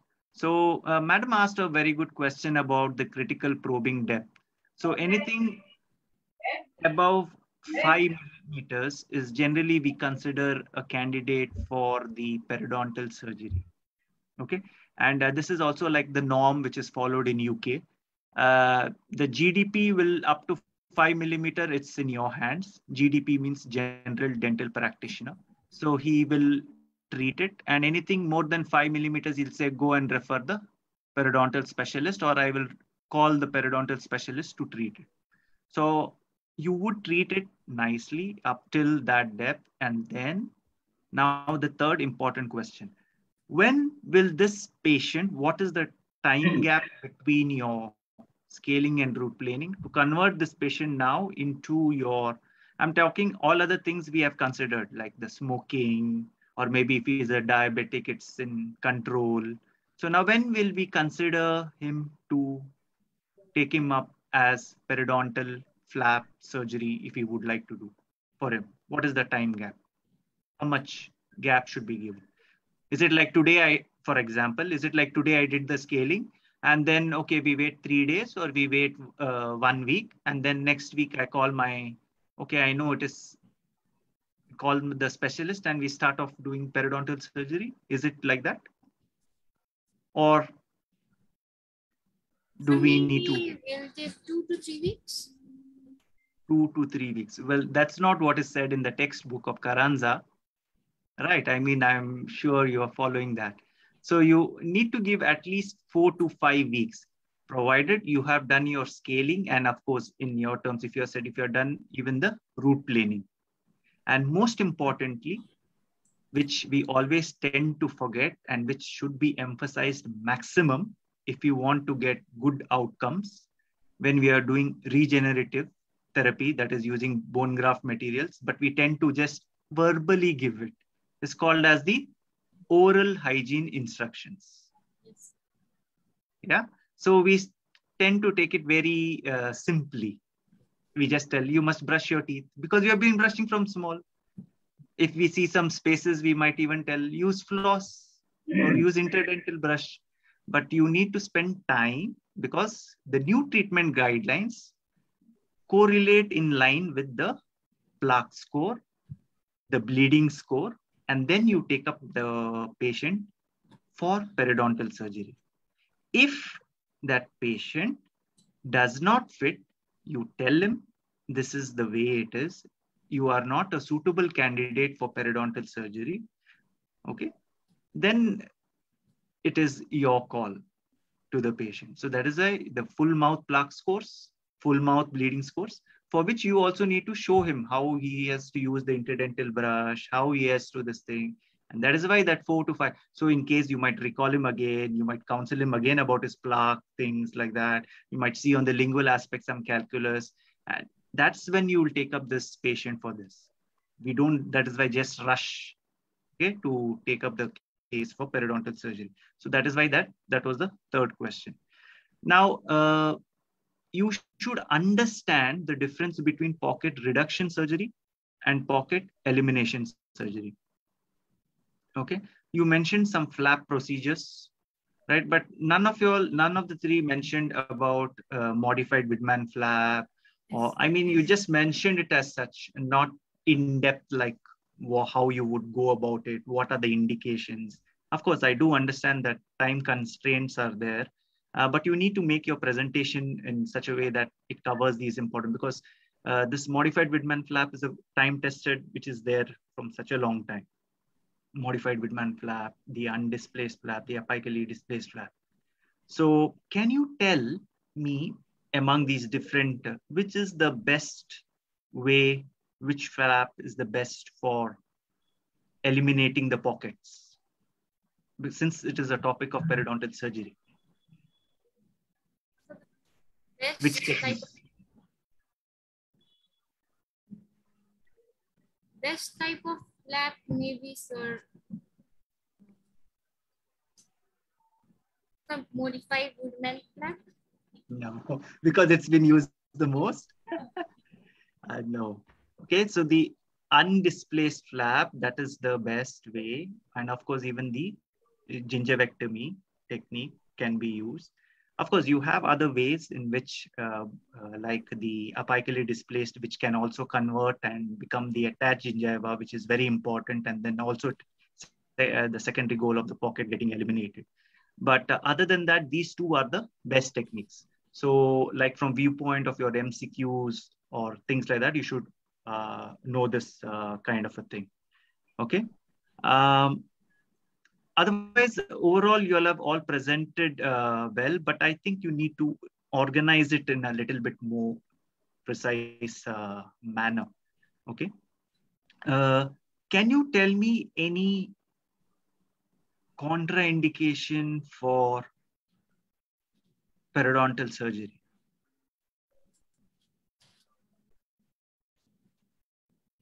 contraindications of periodontal surgery, sir? Sir, uh, if uh, the oral cavity is uh, very uh, unhygienic, that is, even after uh, scaling and uh, even after the plaque removal, the condition can't be maintained, then we can't further go for the periodontal surgery. And uh, if uh, in case of uh, medically compromised patients, uh, maybe they are selective medically compromised patients that can't go through this type of surgery. And uh, in case of malignancy uh, and uh, uh, for pregnant women and uh, in case of uh, uncontrolled diabetes and if there is some bleeding disorders, then we can't further go for the uh, periodontal surgery. What about if he's a smoker? Sir, uh, the smokers, uh, as already told, it is not an absolute uh, absolute contraindication, but it depends, sir. Because uh, if uh, the Okay. smoking habit is Okay, uh, okay, okay. Sorry to interrupt. Uh, I will say he's smoking 20 cigarettes a day. yes, sir. Yes, a smoking habit in that So case, can we do or we should not do? so we can't. Yeah. Okay, so that is uh, especially in the new classification, it has been uh, considered uh, as one of the important uh, risk factors. And they say that you need to modify that risk factor first.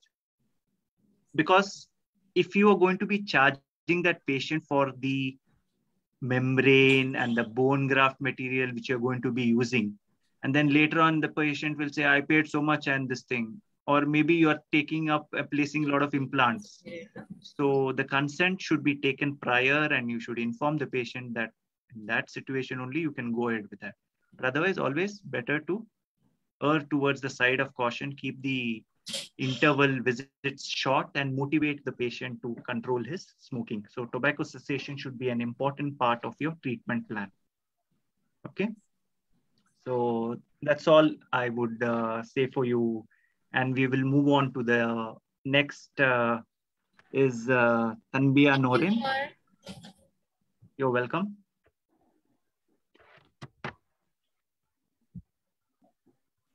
So Tanjiba Nouren, uh, yes, actually, uh, I just want to say uh, one thing mainly about your presentation. I don't know. I don't know whether it was only for me. It was first. It was like in a vertical way, as if like were you like doing it through the mobile or something?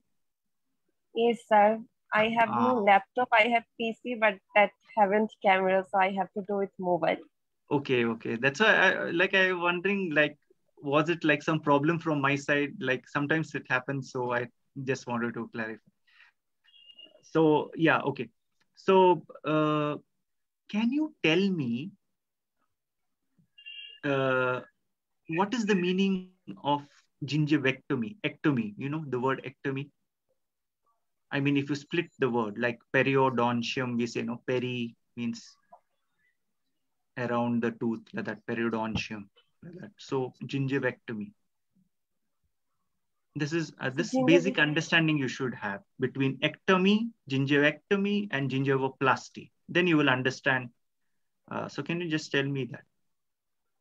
So ectomy means uh, removal in any surgery. And Fantastic. when we when we'll talk about gingivectomy, it might be removal of gum, and uh, gingivoplasty is not removal but reshaping. Okay. So now one thing I want to tell, whenever you're doing a scientific presentation, when there are all doctors like this, right? You should always try to use the scientific terms. So you should use the term gingiva. Now, when you're talking to a patient, if you nowadays patients understand, but uh, you can use the word gum. But when you're talking with doctors, always better to use the scientific term, gingiva. It looks more uh, appropriate and uh, correct for the platform. Okay. So that is the thing. Uh, the second thing I, I noticed was you mentioned about the steps of flap surgery. Uh, is these steps for all the surgery? I mean, like you just mentioned in general. I mean, you did not differentiate between whether it is a modified Widman flap surgery or undisplaced flap surgery or apically displaced flap surgery. I mean, there are step uh, things which will be a little common, uh, certain incisions which you mentioned and all may be common, but there are differences still, right? How you would Right. give the um, uh, incision, whether it is to the um, depth of the, whether you're giving the bleeding points, all these things are to be kept in mind, okay, when you're telling, because you cannot just generalize it. Steps for flap surgery okay? Yes, and one uh, and the other thing is whenever you're getting the data because nowadays more than talking lot of uh, stuff is available online. You can get it. But you should know how to correlate that stuff with the textbook. Okay? For example uh, usage of the terms um, correlating it with the uh, textbook with in relation to the steps how it is mentioned. That is very important okay when you're talking about this periodontal surgical procedure um, you cannot just randomly uh, talk like that yeah so Yes, sir, I will remember it. Hmm. Now, even in gingivectomy, there is something called as the continuous incision and the discontinuous incision. And uh, can you tell me uh, the advantage or between you doing a laser gingivectomy and doing with a scalpel gingivectomy? Uh, sir, laser gingivectomy, I told before, uh, laser gingivectomy, maybe uh, there will be no bleeding. So it might be helpful for the patients who are uh, who have bleeding problem. It may be time consuming. um, uh, so it may be more comfortable for uh, for the patient. In which one? In which one? Using? Uh, so laser gingivectomy. Okay. What about uh, uh, periodontal dressing? Is it uh, needed when we are doing laser gingivectomy? Um, so it might not be needed. I think so. I'm not sure. Okay. So we do not give we do not give periodontal dressing uh, when we do uh, laser gingivectomy because we call that as a laser bandage. We do a little photo biomodulation and that itself will help about in bringing the healing process. And you do not need to do any uh, extra periodontal dressing using Coe-Pak or any other dressing material. Okay, so that is the added benefit. Now, why that helps also is because of that extra cost of which will come on the patient for the periodontal dressing, right? Of course, the laser machine cost is not on the patient in the real sense, it's more on you. But this cost, though, surely you will add on to the patient, the periodontal dressing pack, right? Uh, because the laser, you can use it for so many other things, uh, other uh, procedures also, whether it is a diode laser or whether it is a tissue erbium laser also, which you call it as an all tissue laser. Okay, having said that, uh, can you tell me one indication or rather one contraindication when not to do the gingivectomy procedure?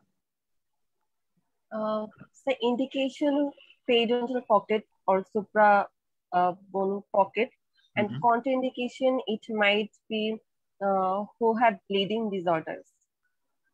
That is common for everyone even flap surgery this thing. Systemically healthy. Other than that?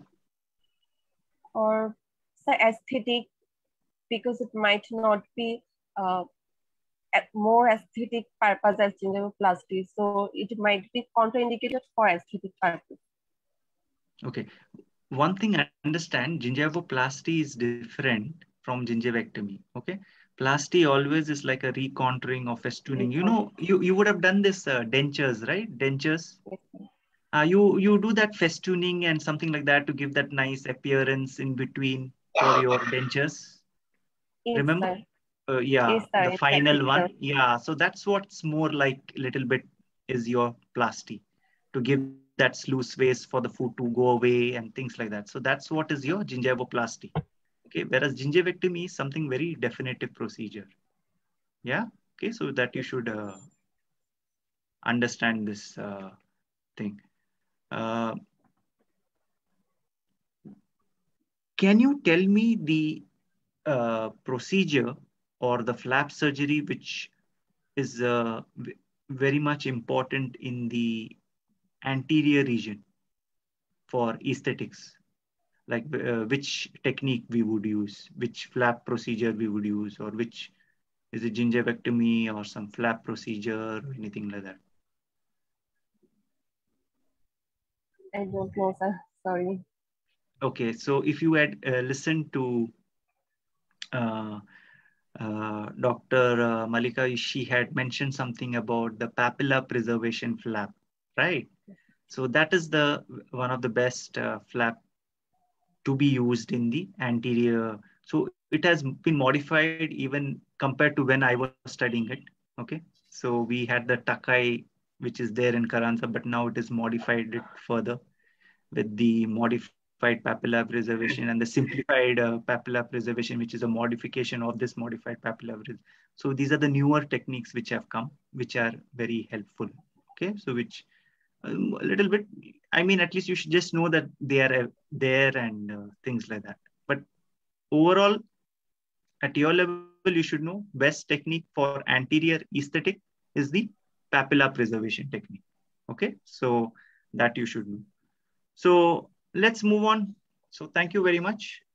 Uh, yeah. So let's move on to the uh, third person Troyee Goswami. Yeah, so I liked actually very much Argentina versus uh, France. Argentina versus France. okay, but uh, having said that, uh, the mnemonics are good, but you need to organize your contents.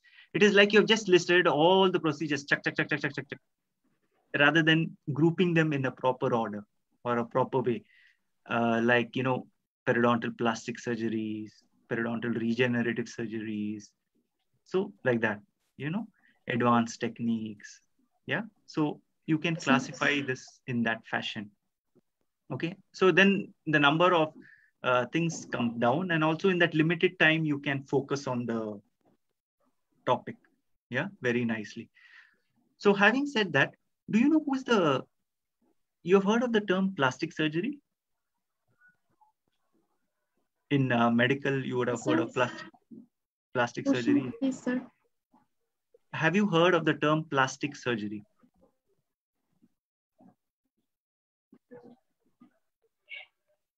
Plastic surgery? Suppose I get some injury on my face, then we go to the plastic surgeon. Have you heard of that? No. Yes, sir. Plastic surgery, that means uh, somehow after accident or uh, change the reshape or injury to reshape uh, face. So we have that similar in perio. So it's called as periodontal Perio. plastic surgery. Video class. Yeah, per, Yes, yeah, sir. perioplastic. Do you know who coined that term? Yes, sir. Question, please, sir.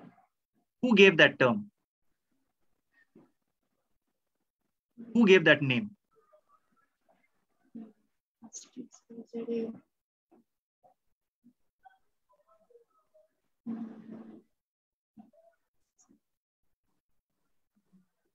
So it is PD Miller. You have heard of recession classification?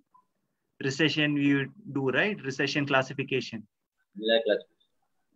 Miller. It's that same Miller, PD Miller, Preston Dallas Miller. And he's just 82 years old and he'll be coming for our ISP conference as one of the keynote speakers. Uh, I know that yes. uh, Sir has registered for the conference. Uh, so he'll be uh, the person, he's the one who coined this term, perioplastic surgery. Sir, yes, sir. So you should know these uh, things, like these are the basic. And who coined the term uh, mucogingival surgery? Uh, Fedrin, Fedrin, Friedman. Yes. Fedrin. So Friedman coined the term, uh, this uh, mucogingival surgery. Now, you mentioned about this uh, frenectomy, right? Um, can we do frenectomy with the laser? Yes, sir. Laser frenectomy. We can do. So can you tell, uh, do, can you think like what can be the advantage of uh, doing it with the laser compared to maybe doing it with Uh, a scalpel? sir, it is comfortable. Sir, it is uh, comfortable to the patient, and um, some patients are bleeding disorder. Uh, then I try this. Then uh, uh, What about it is, uh, sutures? Less time Yes, What about sutures? Uh, would we uh, have to place sutures when we are doing with laser? Yes, sir. Have you to place the sutures? We have to do suturing after doing Sir, uh, laser Mm, frenectomy. laser, sir, laser, uh, sir, mm, healing uh, rapid of a side, uh, healing rapid, No, no, uh, no. less side You effect. answer whether we need to place suture in yes or no. I mean, do we need to place the suture or we don't need to place suture? Only that much you tell. Healing we'll see later on. We are still in initial steps. Okay, the question is, do we need or require to place sutures following laser frenectomy procedure? Um, It's either yes or no. Or I don't know, maybe you'll say maybe. this uh, maybe no. maybe no. Oh my God. So that is the advantage. Okay. So generally, when we do a laser frenectomy, that is why people are going uh, this thing ahead with that is because we do not need to place sutures. And of Yes, course, sir. Not, yeah, you do not require to place sutures. not needed. not needed. Yes, sir. Not needed, sir. Yes. And you do the photobiomodulation, and that only forms the laser bandage, and that heals up nicely. Okay. But having said that, uh, it's not a real Yes, full depth frenectomy, which we do with the laser. Mm, You know, but it's okay. I mean, the patient is comfortable and we don't go up to the full depth of the bone and things like that. And uh, like how the procedures you mentioned, the Y plasty and the different surgical, the Z plasty, the different techniques. So you should know that. Okay, the difference because now you're in the modern. We cannot just go back. Those are the older ways where we used to do the using the scalpel. Nowadays we use more of the diode lasers. We use the lasers for doing the, this. Of course, if you're having again the all tissue laser, the erbium laser, which can be used both for hard tissue and soft tissue, you can go ahead and do the same. Okay. Okay. So let's talk a little bit about the GTR concept. What is GTR?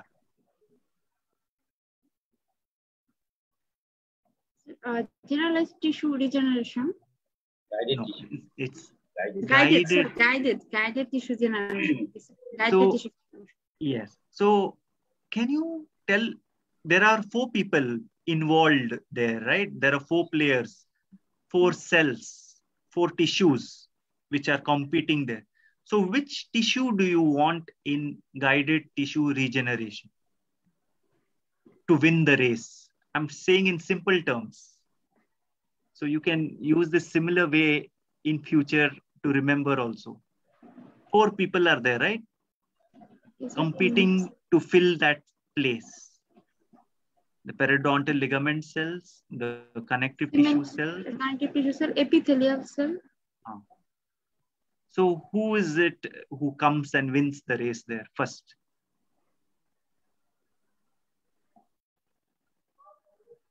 Mm, There, uh,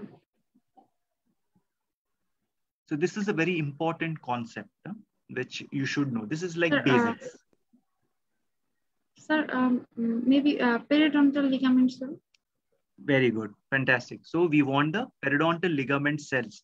But actually, if you see the turnover rate of the epithelium is the highest. So it runs fast and it if it slides down and you it gets he, uh, the healing by that, it forms the long junctional epithelium, which is not a very strong attachment. So we want actually that is why we use the guided tissue membrane, right? So we have the different types of membranes, okay? Uh, whether it's absorbable, non-absorbable, okay, or reinforced, non-reinforced, okay. Another thing you should understand is there is something called as GBR.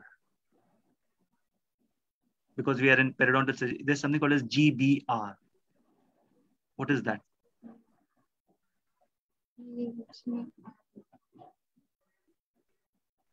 It's simple. I mean, uh, it's not a, a very difficult thing. It's simple. If you know GTR, you will know GBR.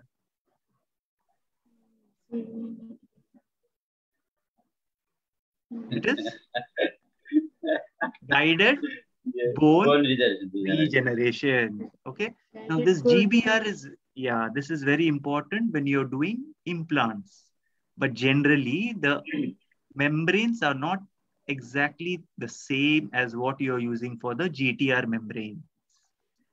That is why you should see on the cover when you're selecting the membrane, the procedure. Like sometimes you are the dentist and the periodont, uh, you'll call the specialist and he'll say, buy the membrane. So you don't just buy any membrane. You see what is the procedure, whether it is a GTR procedure going to be done or you're because of the space which is there missing and then maybe you want to put implant later on so you want to develop the bone thickness there and do the guided bone regeneration. So that membrane is a little Guided different. bone regeneration. yes. So you should know the difference. Now which graft you mentioned so many right? Autograft allograft alloplast so many materials and so which is the gold standard material hmm. for grafting Yes, sir. Uh, question, please, sir. which is the gold standard material to replace the missing bone gold standard?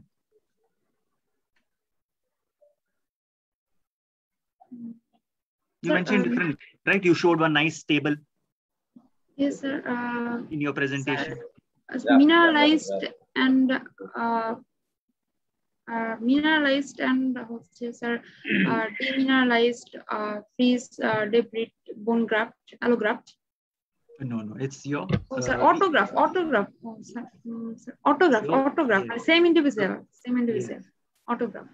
Yeah. So autografts are the so you mentioned that time when madam asked you you told about the different sites intraoral sites as well as the extraoral sites which it yes. can be harvested. Yes. yeah okay. Um, so uh, always remember that the own is always the best. Okay, the bone from the areas. So, uh, do you know how we can harvest that bone graft from the oral cavity? What are the ways to get that bone graft material? You know that autograft is good, but how to get that graft now? What we have to do? You mentioned the different areas where we can harvest. How do we harvest it? So you can use something called as trephines. Okay, trephines, which can remove the core, or you can use something called as bone scrapers. Okay, so these are instruments which you can use to get the core of bone, in which you can use to use the uh, how you can use for the grafting. Okay, so you should uh, know this kind of thing. Why this is important is uh, because many a times you uh, if you can talk to the patient, patient you will have to convince the patient that we'll try to use your own, but there will be another site maybe where you need to remove uh, some amount. So like that you have to tell. Or do you want me to buy another additional material? The cost will be a little more. So like that, when you are convincing the patient for periodontal surgery, these are the important principles which you need to keep in mind. Okay, so that is very uh, important when we are uh, deciding that factor. Then uh, the other thing I wa- um, uh, saw in your presentation was about the different uh, techniques for uh, regeneration. So, which uh, flap surgery would you suggest? You, you we mentioned so many flap surgery techniques, right? Or incision when we are doing a flap. You talked about. Uh, you would have heard from your other presenters also. So, which incision generally we would give when we are doing a flap surgery? And now we are going ahead when we are going ahead and uh, placing the uh, placing the GTR membrane. Mm. So internal bevel surgery. Uh, internal bevel incision. No, it is generally we would like the maximum bulk of tissue to remain. So mo- many a times we would mostly give the crevicular or the sulcular incision so that that tissue will hold the membrane in place. Okay, so that membrane in place. Okay, Yes. and um, uh, one important thing is you should know that the periodontal dressing has an advantage also it has an disadvantage. And there are two schools of thought for everything just as your coin has got two sides right? Heads and tails. So even your periodontal dressing some people say it is a poor excuse for if your suturing is not proper. There are indications where it is very good like if you're doing a gingivectomy with the scalpel such a raw area, you have to cover it up. But if you're doing a flap surgery, and many a times, if you are going to be covering it up, they say sometimes you will be pressing that and you'll press the membrane too, and that space is gone. The whole purpose of the membrane is to keep that space so that the periodontal ligament cells will populate there, and then we will get some amount of, you know, that's the whole idea of this. Okay, so you should know about uh, this. Now, which periodontal dressing is most commonly used?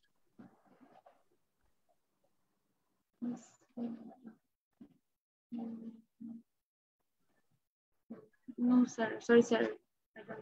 Uh, it's the eugenol containing or non-eugenol? Mm, sir, eugenol containing. No, it's Coe-Pak, right? You find out what is Coe-Pak. Coe-Pak is the one, right, which is used. You would have seen catalyst base, base base, mixing. Yeah? Yes, sir. So you find out in that there are ingredients. So you need to see which is the base, which is the accelerator for the same. Okay. So that's what it was really nice at undergraduate level how you all have presented.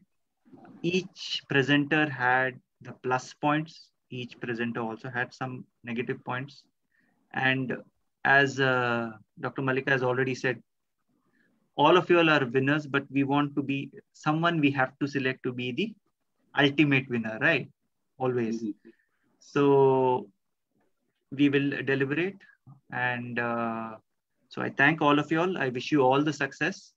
And uh, I think uh, Dr. Anupom Poddar sir is doing a fantastic job by giving you this opportunity and this online platform to gain all this different knowledge so it's a very nice uh, thing. And I wish you all the best and success. Thank you. Thank you, sir.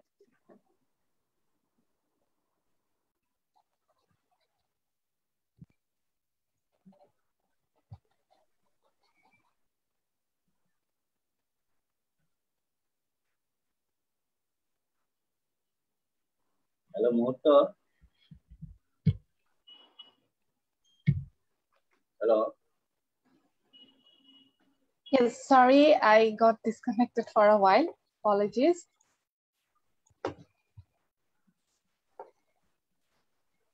Thank you so much, honorable teachers, for the questions.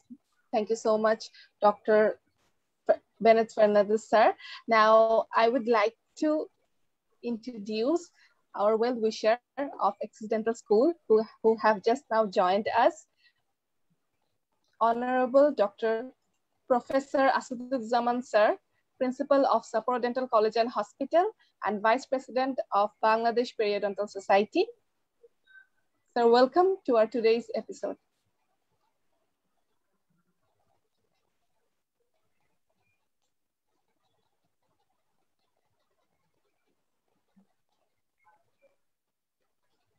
So we may now go forward with our next questioning session, I would like to request Dr. Wahid Zaman sir to please throw your questions to our participants.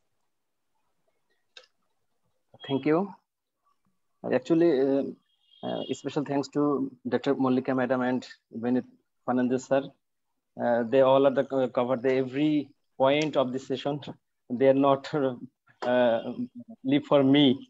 So uh, I want to overlook some point, but uh, and want to uh, start first, Jeniya, Jeniya Rai. Yes, sir. Can you hear me? Yes, sir. Uh, okay. Um, do you know where uh, when the patients are come to us, there are some problem or many comorbidities present, like CVD, cardiovascular like un un uncontrolled diabetes mellitus. So uh, uh, how can you determine the um, about the, and what is your protocol to maintain your antibiotic prophylaxis or not? How can you determine this? Sir, the for that we have to take the history of the patient very carefully, and uh, we have to ask the patient if the patient has uh, been taking some medications for years, like if uh, there's hypertensive patient, then you will be taking antihypertensive drugs. And if the patient uh, has diabetes mellitus, then he or she would be taking insulin or any other anti-diabetic drugs. Any uh, other are the cardiovascular diseases. We can ask no, no, them. When we are when we are use the prophylactic antibiotic, when you are use when? Prophylactic antibiotic, prophylactic antibiotic. So this antibiotic before, given the before the surgery, the surgery. Give, uh, yes, yes, yes, yes. We'll be giving. When, when? Who is, who is patient? For who is patient? So for heart disease patients. To Heart disease patient. Sir, Very good. very good. Yes. And um, so um, fine, your presentation, uh, I think this is your first presentation in the Yes. in your life, in your life or not? Sir, uh, I have been uh, like participating in my uh, inter school or inside the college, but not Okay. in this platform. And uh, I feel Very thrilled and uh, nervous at the same time, but I'm enjoying this. Sir. Excellent. Your presentation is a very good, nice, and smooth presenter. You are the really, Yes. you're, uh, I think you're good in, in your future. Yes. But, and uh, I'm a Nepali student and in uh, Yeah, yeah. Bangla, uh, Bengali uh, environment with the Indian uh, teachers, I, I'm feeling very blessed to be a part of it. Very good, very good, very good. Uh, can you tell me about the suture material? Which type of suture material we can commonly use in the oral cavity? So generally, Last question. For last question, last question for you. Yes, sir. Generally, we use silk uh, for the uh, uh, for the period for the surgeries, oral surgeries, sir. As Silk, uh, silk, uh, silk is a uh, silk is it is an uh, absorbable or non-absorbable? non-absorbable, non-absorbable and uh, and it is the um, and, and- and we are we have some non-absorbable uh, we have some absorbable suture surgical sutures we have present. Absorbable synthetic is the best. I think it is best. And, and silk is not the good due to it has the some allergic reaction. Due to it is the nature it is coming from natural origin. Okay? Silkworm like like silk silkworm. So we have used the vicryl vicryl that is the absorbable and synthetic. Okay? Yes, sir. Yes. yes thank you. Thank you. Uh, next next next is the uh, Tanjiba Nouren. Please Yes, Tanjiba Nouren. Uh, you also find your uh, presentation is also fine and some some uh, there is some uh, uh, technical problem also present uh, the, due to mobile phone. This you you should clarify this. So better other than this this is better. And i i think some i want to some question for you. You ready for this? Yes. Uh, do you heard about the peri- peri-implantitis? Peri-implantitis. What is this? The peri-implantitis. Sorry, uh, trying to easy, easy, easy for you that uh, when the patient is come with, with you with the implant in the area or uh, in the area in the, in the patient in the mouth or jaw huh, with the redness area on the around the implant. It's called implantitis the gum also swollen and there is some uh, came out the pus and tartar is present. Now what is your treatment plan? I want to just want to know about the what is your treatment plan about peri-implantitis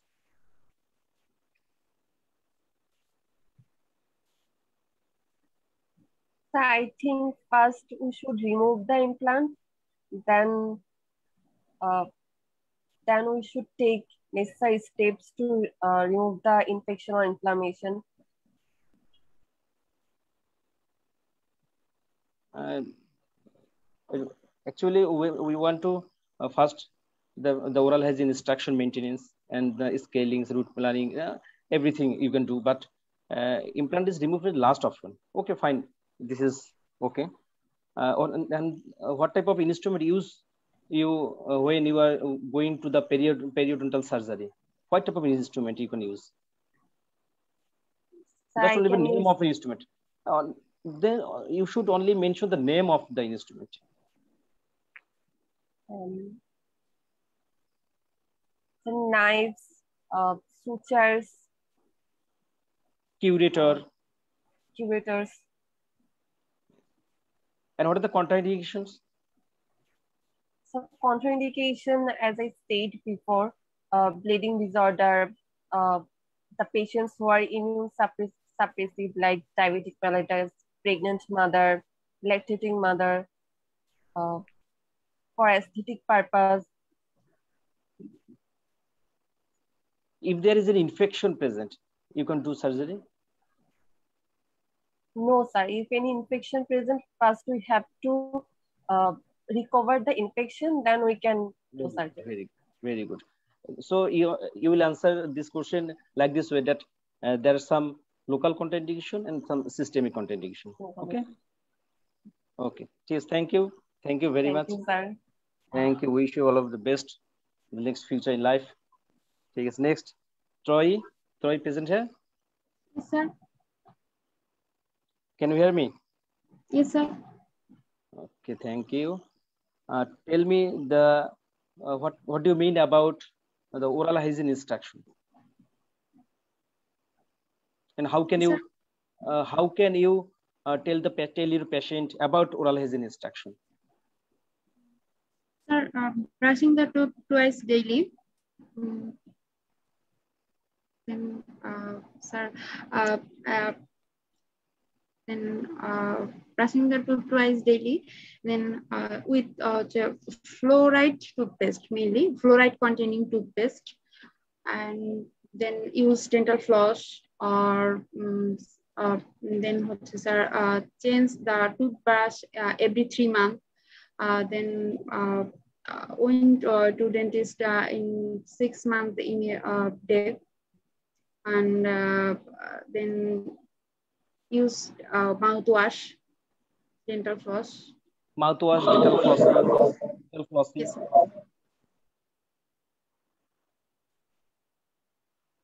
the fluor uh, mainly uh, the fluor tell me about, uh, uh, mouthwash. Fluorescent on the mouthwash. Good. Very good. Very good. Uh, tell me about uh, the mucosal depth. Uh, uh, how can you measure this?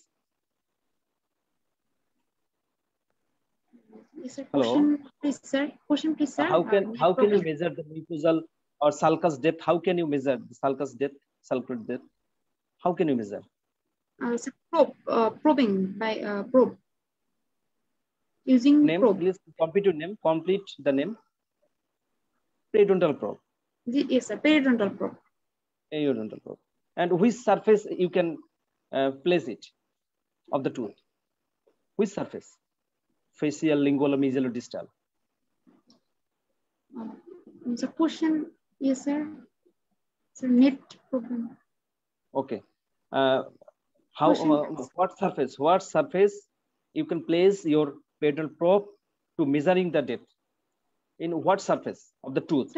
So six Mesial, surface, distal, mesially, surface, sir. actually, Uh, uh, mm, face, sir, uh, mesially, distal, mesiofacial, uh, তারপর sir ডিস্টোফেশিয়াল is it? না sir Okay. মিজিও Okay. Distal lingual Mesial, distal, lingual. Okay, fine. Um, tell me of the bone graft. What do you mean by about bone graft, bone grafting? When we should done this? bone grafting mm, sir, uh, indication of bone grafting. Bone... yes yes bone grafting of indication in periodontal surgery bone uh, graft, uh, sir injury uh, of the bone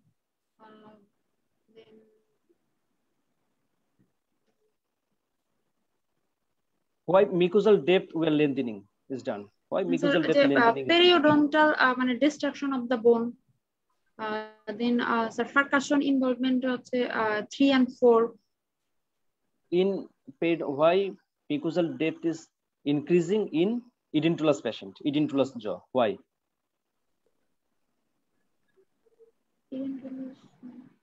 Edentulous patient. There's no tooth present in the mouth. Increasing. Why we done this? Uh, sir uh, uh, recession for uh, recession There's no tooth, no tooth present. Okay, I think you're not understood this. So fine, okay, no problem. Good, good presenter. Thank you, thank you. Best wishes for you for the next later in life. Thank you. sir. Thank you.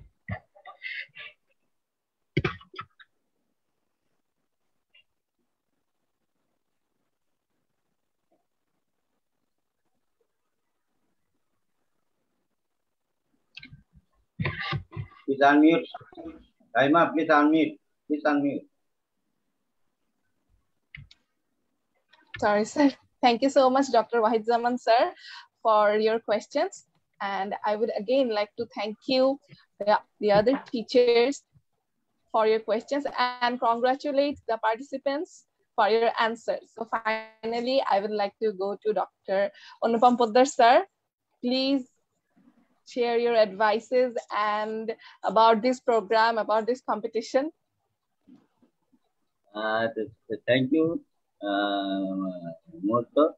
Uh, first of all, I congratulate all, all my uh, beloved student presenter and for their nice presentation. Three of uh, three of you go very nice, nicely. I hope our uh, judges, the foreign judges, Professor Dr. Monica Sethi and Dr. Bennete Fernandes will enjoy this program. And uh, it is our uh, undergraduate students, not postgraduate students. Our student is not familiar to this type of uh, surgical procedure, procedure. But I, I, I, this is the first time to see the about the surgical procedure. And it, they try to um, answer the question, but uh, I am very happy. Uh, all of uh, judges discuss um, your question and answer, and it will be it will be helpful to our uh, presenter and also our uh, uh, our students and our dentist, general dentist who are viewed this program and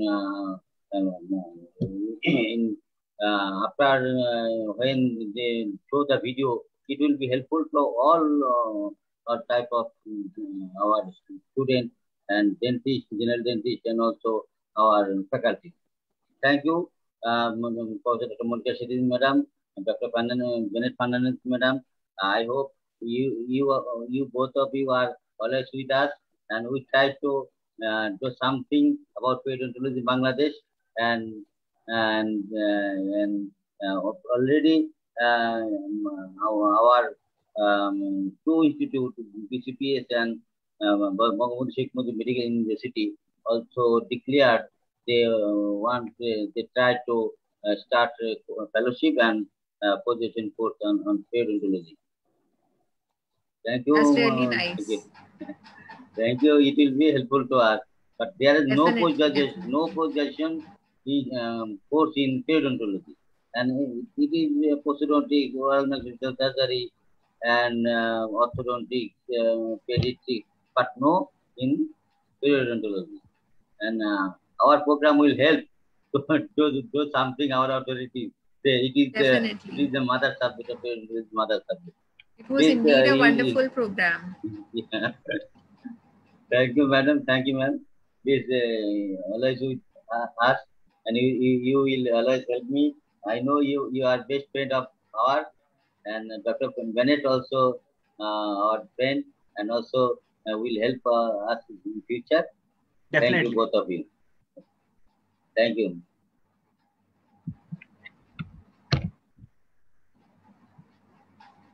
Murtha, please move on. Thank you so much to the honorable teachers.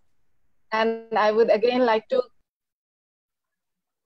thank you so much to the honorable teachers who have shared their words of wisdom with us. This was an amazing session indeed. Lots of knowledge from everywhere. So thank you so much again. And I would like to congr- congratulate Group Michigan today for their presentation.